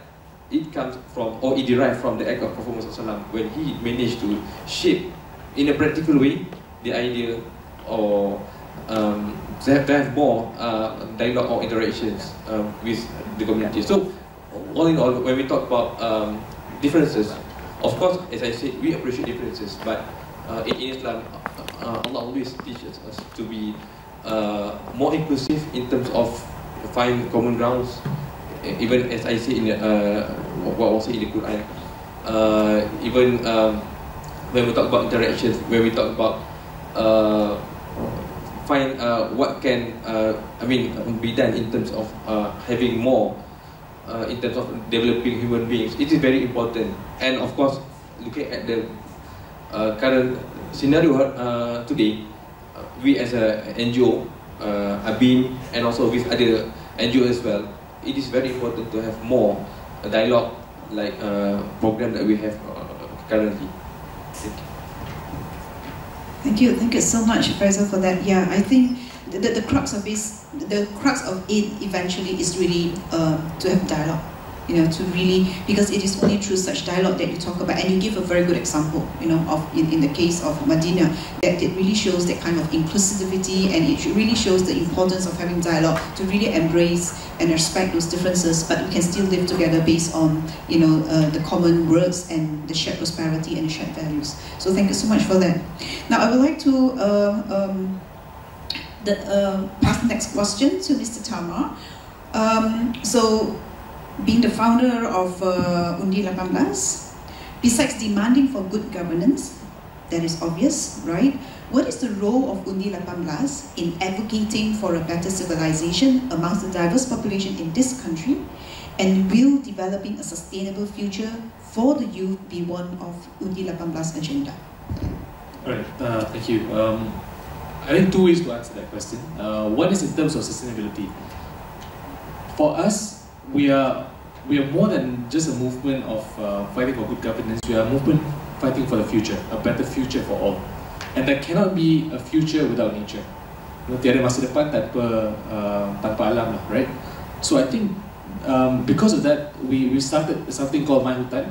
So My Hutan is a is a campaign, uh, is a movement to ensure that there is climate uh, centric policies that are being advocated and, uh, and instilled into our laws and instilled into our constitution to ensure that there is less deforestation, there is less flooding, uh, we have uh, a proper climate change. I think these are key elements and key things that we are advocating for. In fact, just over this weekend, we just had the, uh, the My Hutan Summit and the National Youth Climate Consultation. We just uh, finished over that. And the idea is that we've brought together a room of young people from uh, Mahasiswa University, uh, from youth organizations, from NGOs, from political parties. Can we then come together and say that this is what youth want in terms of climate, um, you know, uh, climate policy, so that at the very least, from the Malaysian perspective, we're advocating for something clear. So I think that's one thing that we are working for because I think we cannot run away from the conversation of climate. The second thing is, in regards to, uh, I think it's a bit more of a complex question, right? How do we develop a, um, you know, uh, how do we develop unity or, uh, or racial harmony? And, and again, I think it's very easy to put those ideas that we are all united, uh, quote unquote, or that we are all uh, together. But, but in the end, if we don't have something, a platform that unifies us, then what we prioritize is that which differentiates us. This is the reality of human human existence, right? If let's say there's nothing that we can have a commonality, we focus on our differences. So what we are trying to do at the moment is to try to develop a movement, and we have a movement called Undi Negaraku, where we build based on state by state uh, outreach towards youth, and we try to build and we try to spread the idea uh, using the Rukun Negara as a core element of our national identity. And I just want to emphasize, right, something that people often overlook. When we look, when we talk about the Rukun Negara, we always talk about the five principles Rukun Negara. You know, kepercayaan pada Tuhan, peluruhan perlembagaan, dan sebagainya, right? But we never think about what are those principles serving. Buat apa ada prinsip, tapi tujuan dia tak tahu. And that's why people often overlook the first part of the Rukun Negara, which is the objective Rukun Negara. You can all Google what is the objective Rukun Negara, right? Which is something which is related to uh, membina masyarakat demokratik, to have a progressive society in terms of uh, in terms of uh, our approach to science and uh, and technology, to be able to build a society that is that is in favor of justice, to build a society that is diverse, that is embracing of uh, of differences. These are things that are in our Rukun Negara that was built 50 years ago. Yet we are not embracing that and we are asking ourselves, who are we as Malaysians? What do we want? What, how do we define ourselves? When I think that we can say, you know, if we are effective, you know, in using this idea, we can say that a Malaysian or, or the Malaysian dream is to be able to, to achieve, um, to, to be able to fight for justice, for democracy, for progress, for fairness. I think these are things that are, you know, that these are very core ideas, very in interesting ideas of what it means to be a Malaysian. So if we can fight for this as a means of our unity, of our similarity, then perhaps we can, at least we can, uh, we can ignore a little bit that which different that that uh, that divides us, right? We can look at things that divide us as a flavor instead of a real contention or as a real divisive factor. So I think that's the that's the key thing that we're working on. Of course, it's easier said than done, right? Um, you know, of course, we, we as an organization we're still very small, uh, and our, our network is still quite limited. But I do think that this project of developing uh, a national um, identity, or at least a platform of similarity, is something that we must advocate for together. Um, and I hope more young people try to figure out and try to ask this question: What can unite us instead of just what is dividing us and what makes us annoyed about each other? Yeah, thank you. Thank you. I think if you were to ask uh, the young people what unites us, perhaps the answer would be food, right? or durian, or nasi lemak, or Twitter, you know, or Insta, whatever. So yeah, Hafiz, do you have anything? Oh yeah, sorry, I'm supposed to ask you the whole question. I'm sorry. Okay. Right, for Hafiz, yes, uh, he's in an NGO, like I said, that is very close to my heart, Teach for Malaysia.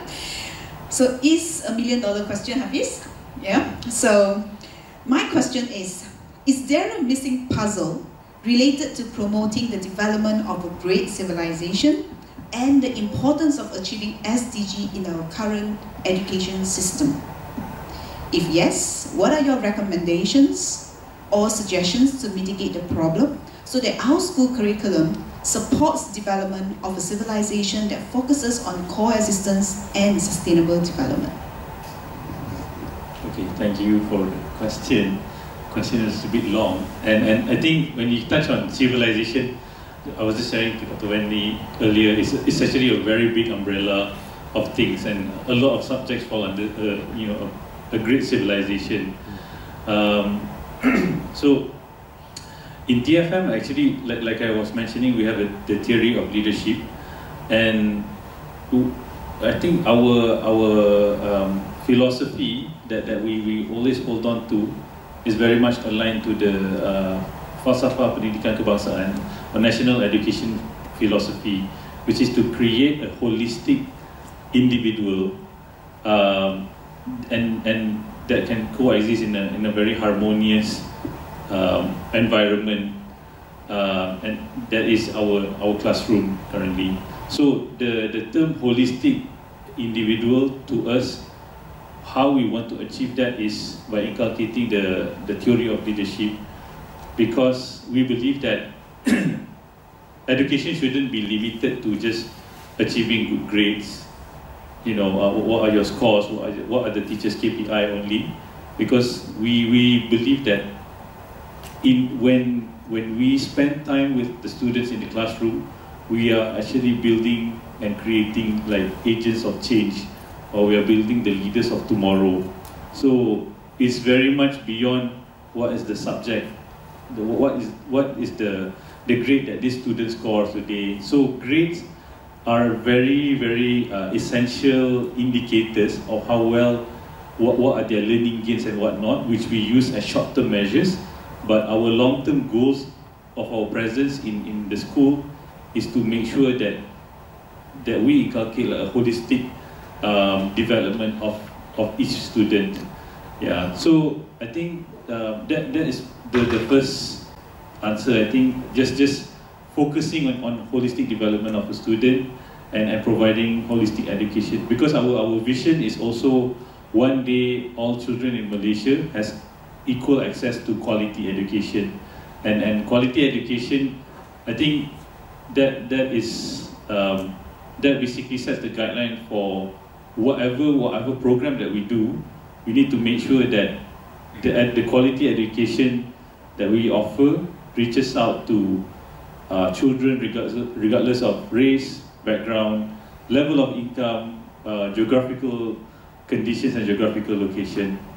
Yeah, so that's number one. Number two is, I think, um, in terms of incorporating ESG in in in uh, civilization or basically in our future generation, what we have been doing is uh, incorporating sustainability and, in education. So ESG obviously uh, you know uh, encompasses uh, environment, so social and governance.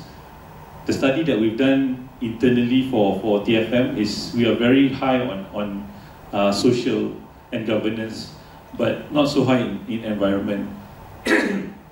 So that's why uh, organizations like you know My Hutan just making sure that there is policies and, and making sure uh, yeah, policies at national level promoting environmental action is, is very critical so that whenever we teach students in, in classrooms about um, kesejahteraan alam, you know, the importance of taking care of, of mother nature and all that, and when they leave, they have platforms to continue that. Because what we see is there's a lot of initiative being done in classrooms, primary and secondary, but after that in university is either like you're, you're or you know you're on your own to to continue whatever um, subjects that you learn. Um, and I think like what I uh, what I shared earlier, based on my observation in in today's um, generation, i.e., primary and school, uh, secondary school students, their level of awareness in terms of environmental actions is very high. In fact, if you, I mean, for us and, and for our school system, we like to, to introduce programs like Kitar Semula and all that. But I can already see them asking bigger questions like what's going to happen to, to the world or to basically this district if we keep on if we keep on uh, throwing rubbish everywhere and in fact I think their awareness is high because they're already starting to see the impact of climate, uh, climate change or climate disasters, like number one, banjir, flood. Yeah, when I visited the schools and I, I, I got the chance to, to just speak to some of the students who, who experienced a lot of loss at home and also at schools, they say that, you know, this, this really has to stop. And they are the ones who actually went on the ground, helped their, their community, helped their teachers and the schools to, to basically rebuild their lives after the, the December um, you know, massive flood that happened, particularly in, in Klang Valley and then, uh, yeah, Selangor areas.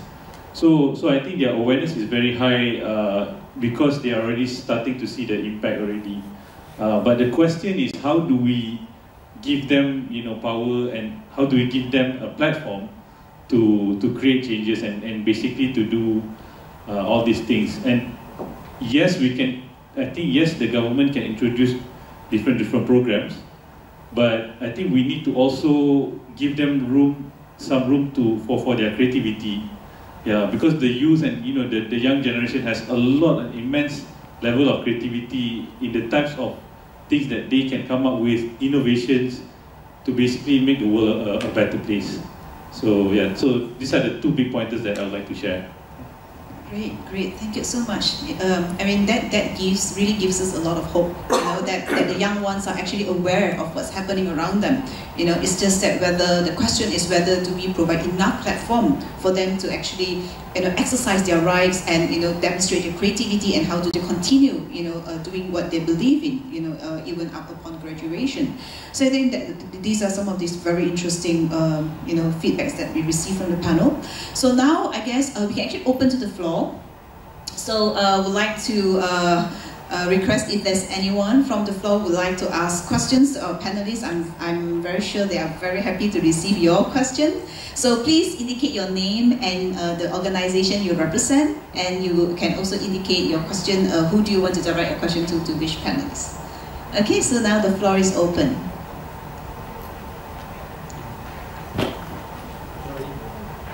Yes, Dr. Zul? I'm sorry, uh, Dr. Wendy, I think, uh, but when you talk about environmental movement, uh, which is my major, so I'm called for to ask to ask the question. So I will, I will start ball, the ball rolling. I guess. Uh, I think later on you can ask too. Uh, recently, if you realize that all the young people, they don't really like structure. It's the age of deglobalization, deregulation, and recently I was invited to a talk which was organized by a group of students in UM, which is not a registered entity. So they call themselves the Planet Prodigy. So when I, I went there, so I thought it was like a normal club. Like uh, normally we are being invited to talk about climate action and role of youth. But then when I asked, uh, who's your president? Oh, doctor, we don't have any president. It's a very organic structure where everybody do their job. And I said, oh, so how, how do you get your funding? I mean, they rented out uh, one cafe, he and she cafe in the 12th college, and and just just do it. And so they would like to hear more about role of youth in climate action. So they would like to invite me. So they just invite me di- directly without, and I asked, uh, do you have any advisor? So they said, no, no advisor. So we are just a, a group of young people, students who are interested to hear or interested to know more about climate action and how uh, we can contribute towards it. And so we just get together, we did some crowdsourcing, and uh, we do this uh, event. And the event was was really a success. A lot, of people turning out on a Saturday morning. Okay. Anyway, so uh, I would like to ask. I think you, you guys already mentioned that this might be the due. I think Mr. Tharma mentioned the lack of cloud of influence among youth in, in bigger institutions, even even in UM itself. Maybe it's time for us to hear from them more, like I think uh, Teach for Malaysia is doing, right? Because everything is being asked for. I mean, you should do this, you should do that, but rather than you know bottom up. So, uh, but these young people, uh, they don't care. They just they just do whatever they want to do and they keep on moving with all the their energy you know you see so i would like to ask the panelists any of you whether this trend of uh, not being involved in main, mainstream uh, platforms like like you guys are heading is it is it a good one or should we encourage them or should we empower them to use the existing platform or you know uh, go mainstream? That is one question. And then uh, the other issue is that uh, when they have a lot of energy, uh, they could be channeled to to the wrong direction, to be to be anti-establishment, not uh, participating in a democratic process because they don't believe in it. Because like what Mr. Tama mentioned just now, it's a five years uh, event. You vote, and then you let them do whatever they want, and they are doing. And then the the the one that are elected are doing what they want. So so they just oh we don't care about this, so we don't even want to participate because uh, unheard voices, right? So should we encourage this or should we educate the young to participate in democratic process? So Okay, thank you so much, Dr. Zul. So who wants to take the question first? Yeah, go ahead, Tharma. Yeah, I'll take, Yeah, uh, Tharma. I think, uh, I, think uh, I, I think I'll be able to answer uh, both. I'll take a step. Uh, um, I think the first thing is that in terms of how movements have started nowadays, right? I think it's just because there have been different platforms and different opportunities where you don't need a persatuan or to be a registered entity anymore to have a voice. right? Because of social media, you're able to then achieve it. Like for example, even Undi 18, we started off as hashtag, right? Hashtag Undi 18, right? And then of course we built from there. Um, so I do think that there are a lot of successful organizations who have just started as a decentralized, you know, just a, a, non-official organization, uh, and they've been able to achieve some level of success. However, I do want to mention this, right? Uh, especially for those who might be watching. Uh, while the barrier to entry has never been lower, but there must always be a question of what you want to achieve. I think that's a real big question that I've seen a lot where a lot of people feel that, okay, I have a voice, and therefore I'm able to speak up on certain issues, and sometimes you know people people like my content, people come to my to come to my events. But then the question is this: What greater impact am I having aside from awareness? Because when it comes to theory of change, awareness is only the, the, the first part in your theory of change, right? Uh, I mean, if anyone is familiar with that, uh, so there's many, many other layers all up to the actual change process, right? So how do you get from that awareness to that actual change process? And that's the part that I'm, you know, that we're trying to educate. So when we do our programs with Undi 18, uh, we have a lot of programs, we try to educate them on how do we get from that awareness level all the way from that legislation and change level, which I think is missing over here, right? Because, uh, I mean, I think it's great that many young people are, are wanting to do Instagram pages on environmentalism, on feminism, on refugee rights. It's great, right? But please don't stop there. Please engage in policymakers. Please, you know, engage with society. Please do more than that, right? Because, again, um, there's so much opportunity out there. It's, it feels like a waste that people's energies are just wasted on just the awareness part that's, that's, that's one, right? And perhaps maybe that's where the intervention can come in. Can, you can educate them that what you're doing is good, but there's so much more you can do. Whether or not you choose to register as a, as a Persatuan is up to you, but there's so much more that you can actually do. This is how you can do it. I think that's, that part is important. Uh, number two, the, the, the question of, uh, so what was, what was the second question again? Uh, if you don't mind, just... Anti-establishment. Anti-establishment, right. Um, yeah, I, I mean, for me, I think uh, I'll have to be quite honest, lah, right? Sometimes there is value in trying to in in uh, in being slightly anti anti-establishment, right? I know it's a bit controversial to say, right? But the question that we often have to ask that what is an acceptable acceptable realm of discourse? Because we cannot assume that establishment is always correct. Because we've seen many cases in many countries where very bad people, for example, you look at Philippines right now, uh, Philippines in the past, Duterte took over. Now Marcos Jr. is still taking over. Can we really say that just because they are establishment, therefore they are morally correct? That's not necessarily true, right? But the question was asked that what is acceptable? Should we go to violence? Should we go to you know to terrorism? That kind of stuff? Of course not, right? So, but there is an acceptable range of things that, for example, we can speak up, we can challenge, we can file, a, we can go uh, go and file a lawsuit in court we can maybe go and protest. I think these are these are things that are, or do a peaceful protest. These are things that are acceptable uh, levels of uh, perhaps I guess so-called anti-establishment in a way, right? So I do think that that is something that is a conversation that should happen. But I do want to emphasize this this thing, right? That we cannot simply just educate, right? And we can tell them via words. We as you know people who are slightly older, people who are you know who are slightly more experienced, we must show that this is a path or this is a this is an example that they can follow. Um, I think one, I think for us, like when we started with the 18, there's many other groups who are like, oh, these guys have managed to make that change. Let me also try to, to copy and follow in the footsteps of Undi 18. So I think that's a good thing, right? But in your field, in your realm, what are things that you can do and you can lead and you can prove to other people, and therefore they can use you as a model for them to learn from and follow. I think that's the important part because often when we when we talk about education, it's always words but I think what's more important is action so that people can follow as a real example and follow your real model for them to, uh, to model their behavior on. I think that's, that's, that's perhaps one way to address this disillusionment and this, this, this I, like, I don't want to be a part of democracy kind of, kind of feeling, right? To show that through action, how change can happen. Thank you. Anybody else on the panel would like to add on? Yeah. Yes, we cannot deny the fact that now uh, when, we, when we talk about championing awareness, now it derived from unstructured movement.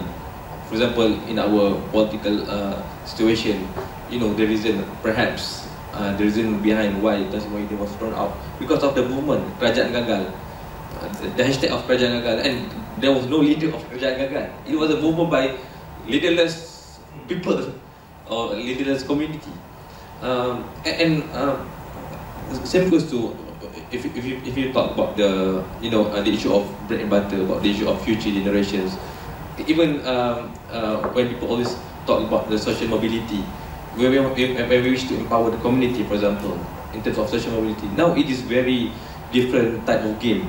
Previously, you know, when government wish to, you know, improve this our issue of social mobility, government just set up universities and then when after they graduate, they can be a lawyer, doctors and so on. But now, they be a grab uh, driver and so on. So there are a lot of uh, changes, I mean, in terms of many things. So unstructured uh, movement or unstructured institution exists nowadays.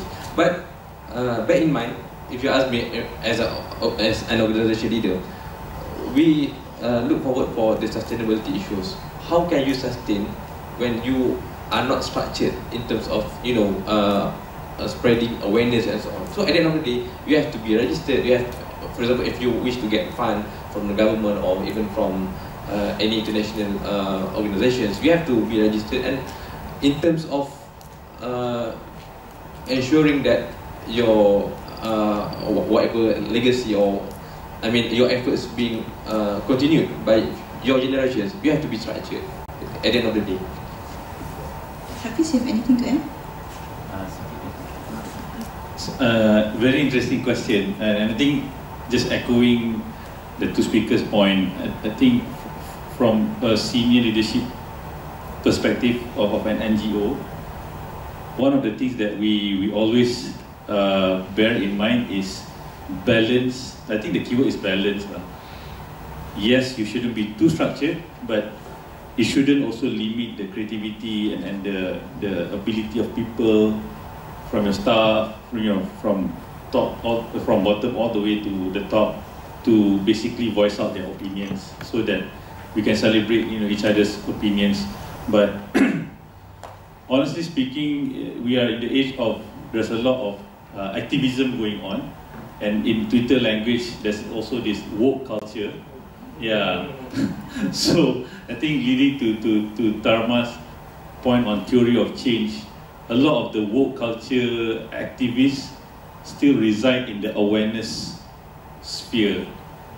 You you call it out, you say you, you nag about something, oh you know this this this system dot dot dot you know and, and many other many other runs about a particular system or a person, but what are the actions are you taking? So without action, the, sti- the, the problem will still remain the same. You're basically not contributing to, to the transition between problem to, to solution or you know basically solving that problem. And and I think um, you can see in, in Facebook there's there's like this this organization who goes around and, and covering potholes or men I think that's a very you know inspiring thing to do rather than you know just talk or, or tweet they just go and then any anyone who finds potholes they can uh, they will just take action. Uh. Yeah, so, so I think I'm coming from a point on always striking a balance uh, because like what uh, Saudara Faisal said just now, organizational sustainability is a factor that they really have to, have to consider. Right now, at, at the inception or initial stage, um, it can be, you know, there's a lot of like fire of activism or spirit of activism there because you need to, to really establish a voice so that you will be heard. Without that, you won't be heard by, by either like critical mass or something, right? But along the way, to get funding in, in two, three, four, five to ten years' time, there needs to be some structure or order in place for you to be a bit more established, but without forgetting the reason of your existence. Yeah. Thank you so much. You know, Thank you so much, Zul, for asking that wonderful question. You know, I think this is just now the question I asked Hafiz. If that's the one million dollar question, this would be the two million dollar question, because you know we are actually speaking to this these three very distinguished speakers, and they are the ones. They are the young people, number one, and number two, they have started their own NGOs. They are in an NGO, so they they are actually giving us advice. You know, so listening to them is like I, I as though I was like look, looking at three Sifus here. You know, like how do we, as young people, how do we run? You know, how do we start something we believe in, and not just at the stage of awareness, but how do we go to the next step of really taking action, right? So thank you so much for that invaluable, you know, input, you know, for from the people who are actually on the ground. Right. So uh, can we have another question from the floor?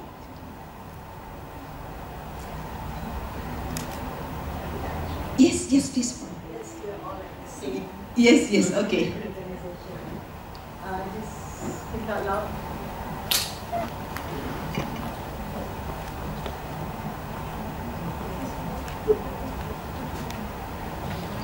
Hello. Okay. Yes. Uh, I think I'm the eldest person in the hall.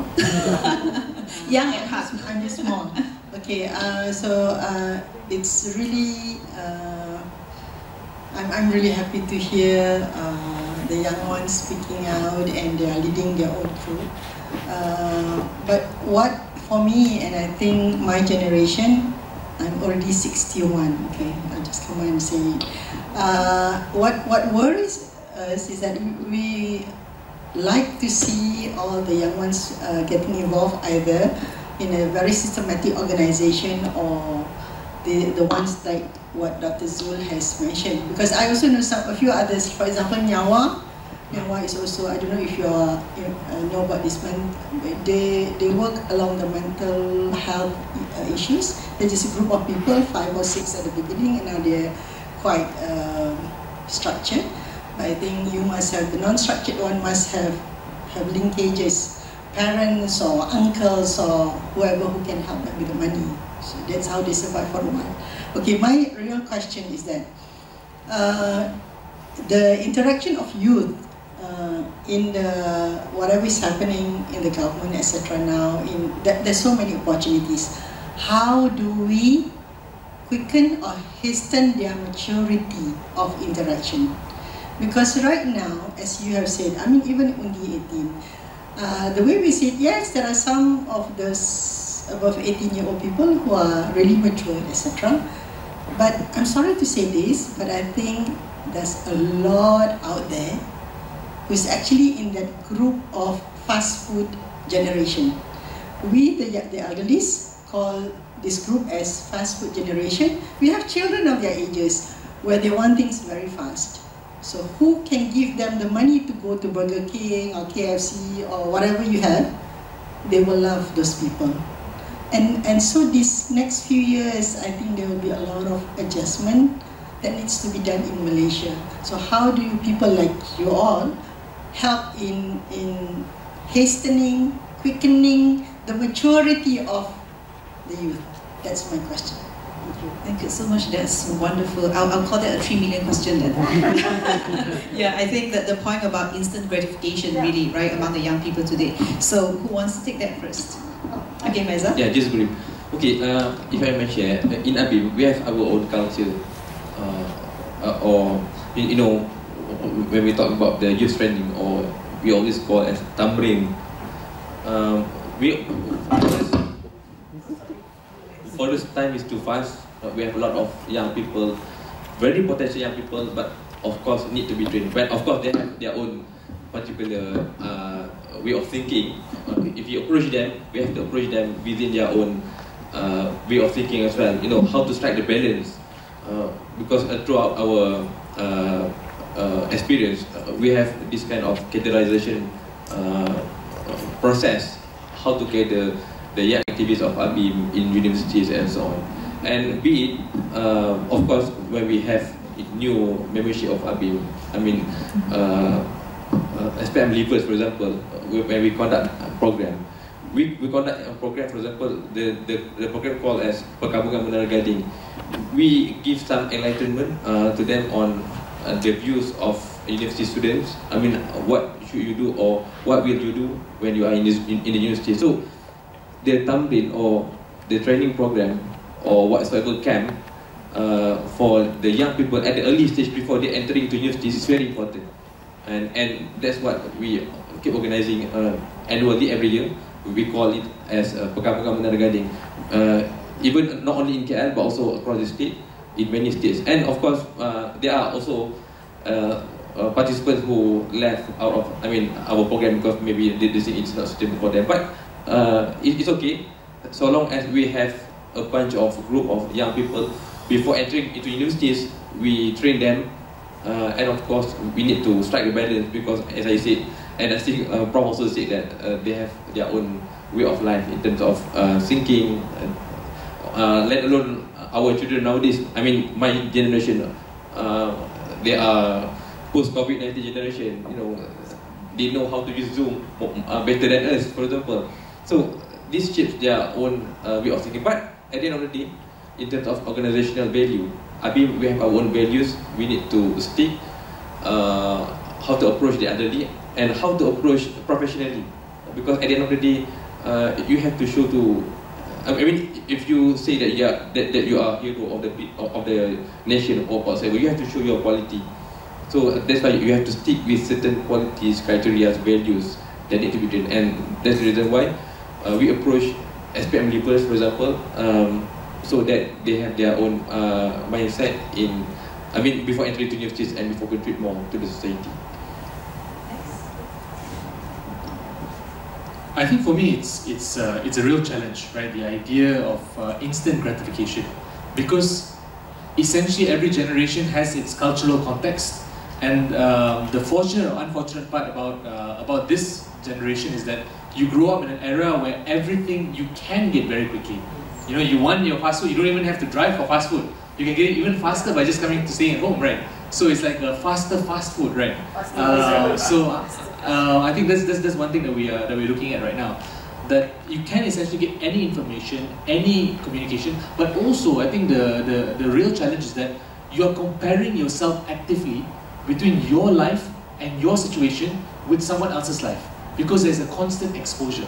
That's the, that's the part that's difficult also, right? So that also makes you very impatient and you, have, you, you become someone who's very, very unable to tolerate slowness and tolerate the process.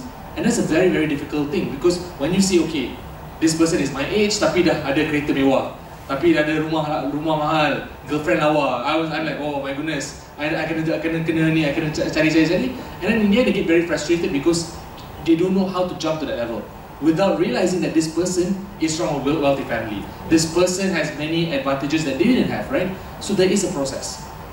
I think it's, of course, for us with, uh, with Undi 18, uh, we, uh, from a political perspective, that's why we do our programs, and we try to educate uh, people about the reality about Malaysian politics. Because I think often, you know, um, us in urban centers, in urban areas, we are very disconnected with those who are in semi-rural rural areas in terms of our politics. And if we want to change Malaysian politics, we have to be able to navigate the differences, urban, rural, semi-rural and all that, right? So that's what we try to do. But as a general greater philosophy of change, honestly, I, I think we can do as much as you, the, all of you in universities, to be honest. Right? In universities, in institutes of learning, I believe one of the most powerful elements to learn about human interaction and the pain and the, and the annoying the annoyingness and the struggle and the drama is when you're in university, right? You know, through persatuan, through assignments, through group work, right? These are all where you learn about the what do you call it, the the spices and also the uh, the the not so tasty parts about human behavior, right? And I think that gives you a very good clarity about how to make things work. So I do, I think, I think I do encourage really that um, that I, I, mean, this is something that I've always believed, and, I, and when people ask me about Undi 18 and my and my belief, I believe that we must rethink what it means to be, you know, a mahasiswa. We must not just think as a mahasiswa as someone who is good and can get a good job, but you must think uh, as a mahasiswa as a good citizen. That means not only are they good at, as, as an economic model inside, but they should also should be model democracy, right? That they should also be able to be to be understand how politics works, but also be able to integrate into society. I think these are core elements that we are perhaps missing out. Of course, it's not easy because uh, you know, as administrators or as, as school, uh, as university uh, lecturers, you, you have two years where people didn't go to university, right? Everything was on Zoom, so you really couldn't do anything, right? And I'm sure many persatuan in university also dah mati. You know, many, many times. Well, from what I hear is, is not so active and all that stuff. But I think now that people are coming back to university, time to revive it, time to re-emphasize it, and I'm sure through syllabus and curriculum, and also pushing school administrators, you can put a greater emphasis on this. Because I think education system is the best way to develop you as a citizen and also society as a whole, right? So if we can even teach them uh, or teach, you know, the, the current university students even 10% to have a little bit of patience, a little bit of appreciating the process, I think we'll be a little bit better off as a society. So I hope that sort of, sort of, sort of answers it. But again, it's a very difficult situation and it's very difficult, difficult culture that we're in. Like. Giving it back to us. Yes, it is. It is. Yeah, yeah, it is. But but I think I think the important thing is that it's a shared responsibility. We do our part, but each of us try to do each of our part within our realms of control. Happy Steve, anything to add? Uh, I have a long answer lah. I'll try to keep it short. So for TFM, I think um, we, we, because we, I think yeah, ninety percent our yeah ninety percent of our staff uh, we have I think around sixty employees, and ninety percent of them are in the youth category. So we are the fast food or faster fast food generation, and, and it is very very true that like what you said, um, they want everything fast not not only in a in an instant gratification like you know go to Shopee buy something I want it tomorrow but it also I can see that being translated like we engage government and then uh, for, for a policy change and then when we get rejected we like ayah let's just give up you know. That's one of the problems that we face internally also. Just that like mental burnout and also very easily upset by just one one obstacle. Uh, and, and I like to I like to learn from both or many sides of, of the, the demography from people your age or people your generation, the middle one and then also the young ones. I think a lot of benefits there are there are a lot of advantages that we can learn from different uh, ages from all, all people from all ages. Uh, I think from from the, the older generation, I think the way you, you, you do things, there's a lot there's a lot of like you know because back then it's not as there's no email, there's it's only surat menyurat or telephone. There's a lot of appreciation uh, in terms of face-to-face engagement, which is very very critical actually right now. You cannot just do Zoom call with the minister and ask for approval, right? These are the this is when we learn the ropes of how they how they how do people do it back in the days. Yeah, so so I think we always make sure that we need we take a step back and okay, let's try different you know various approach rather than you know everything just digital and fast.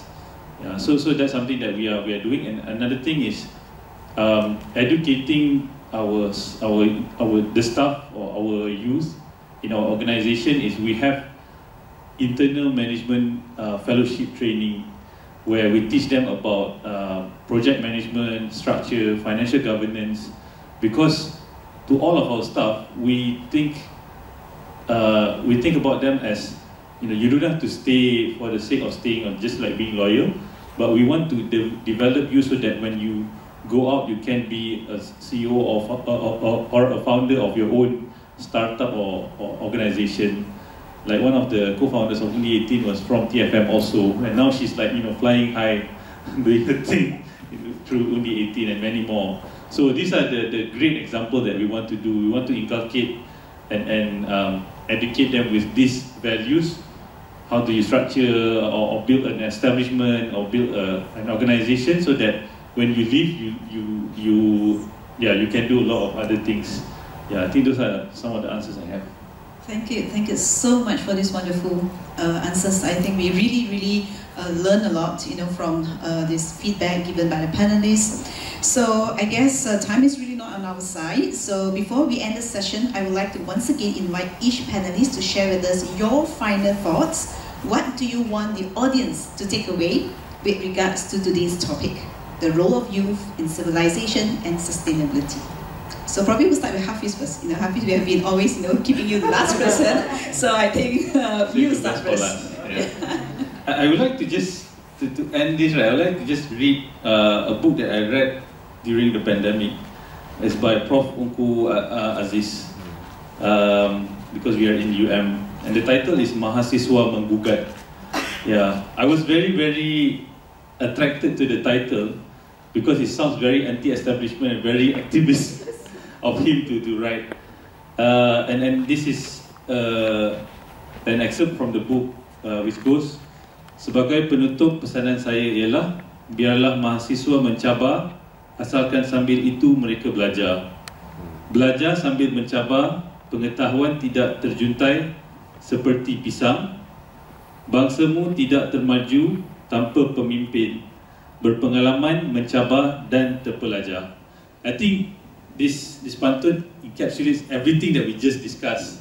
Like the the, the thing pengetahuan tidak terjuntai seperti pisang is there's no shortcut to, to success or like quick wins to to to a, a transformation or change and then you need a leader to lead and you need education to overcome you know all these challenges. Thank you so much, Hafiz, for that beautiful, beautiful words that you shared with us. Thank you so much. Yes, Tharma? I think I want to, want to just share that in crisis, there's opportunity. In uncertainty, there's opportunity to build and create. So while we are having this sense of loss of hope, this sense of uncertainty now, but each of us in this room, each of us who are listening, have the opportunity to become that person that makes that change happen. I think that's something that I, I do want to emphasize. And also, whether or not you are pro-establishment, anti-establishment, I think, I think that is something that matters less to me. But the most important is this. Are you pro-justice? Are you pro the truth? Are you pro social good? And are you pro humanity? I think these are the key things that we must ask. And if we are having this as our guidance, then hopefully we'll be able to achieve that change that we need and be able to build a better civilization and also a better nation for. Thank you. Wonderful. Thank you so much. Really the face of a genius. Okay, uh, when we talk about civilization, civilization dialogue, we need to understand the prerequisite of civilization is interactions, sharing uh, common values. Uh, it is all about human beings, you know, um, develop human beings apart in, uh, and it is not just about propagating one uh, secluded, exclusive community. And that's why uh, in ABIM we, we always discuss about uh, the book written by Huntington, The Clash of Civilization. It is really taboo in terms of uh, their contents, you know, uh, empowering the white supremacy of civilization without recognizing the uh, the value of civilization in Asia, India, uh, China, Babylon, and so on. And if you look or if you read uh, what was written by Peter Prakopan, he, he narrates where Alexander the Great was in India, Babylon, and China, and take a lot of treasures brought back to their home place and build their own civilization. So that means there is no single uh, superpower or uh, I mean uh, superpower racial card that can be played in terms of building the civilization. And it was also said by Toynbee uh, when when you talk about a superpower in terms of one race in building the civilization, it is considered as uh, egocentric illusion, and it was also stated by uh, Ortega y Gasset. No one superpower race that can claim they can build one civilization. At the end of the day, when we talk about civilization, civilization dialogue, it's about sharing wealth, sharing expertise, sharing good values, and that's what propagated by IBMS. Cosmopolitan, we are living in terms of uh, developing the quality of life of ourselves and also quality of life of our future generations. And that's why when we talk about climate change or climate issues, when we talk about uh, environment, I think we try to use religion as a language to unify uh, all communities uh, instead of looking at you know racial hatred and so on. How can we solve this environment problem from the perspective of religion? And inshallah, at least we can defend the rights of quality of life of our future generation. Thank you, Malaya, for inviting us. Thank you so much, Faisal. Another face of a genius, definitely.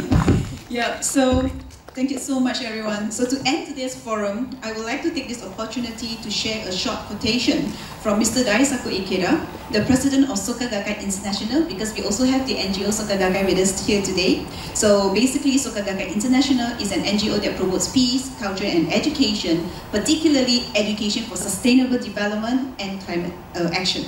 So in his annual peace proposal to the United Nations this year, Mr. Ikeda wrote, quote, Listening to the voices of young people is not optional. It is the only logical path forward if we are genuinely concerned about the future of our world. Human beings inherently possess the strength to overcome any challenge. When youth stand up in solidarity, confident that they can determine the future, this fresh awareness and momentum will surely become the driving force towards a brighter future, unquote. So I can imagine the impact it will have in our Malaysian society when we have youth from ABIM, when we have youth from Undi 18, when we have youth from Teach for Malaysia and other NGOs coming together, working for the betterment of our shared civilization and sustainability, we will definitely have a very bright and promising future. So with that, I would like to conclude today's forum. So please join me once again in thanking our distinguished panelists once again for sharing their very insightful thoughts and wisdom with us on this very important topic. Thank you so much. Over back to the MC. Thank you so much to our moderator and panel members for the great session today. Without further ado, I would like to invite Associate Professor Dr. Zul Ilham Zulkifli Lubis to come on the stage to give the token of appreciation from UMCCD to moderator and panel members.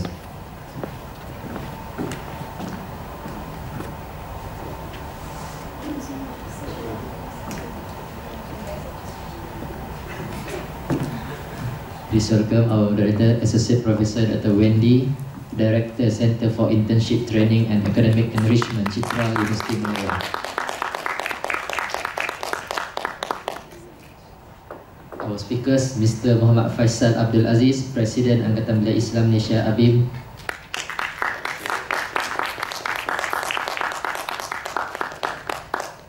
Mr. Tarma Pillai, Advocacy, Director Undi 18.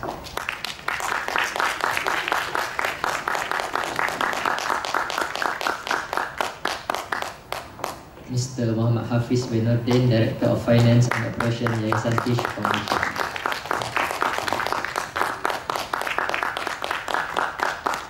Thank you so much to Associate Professor Dr. Zul Ilham for the token of appreciation.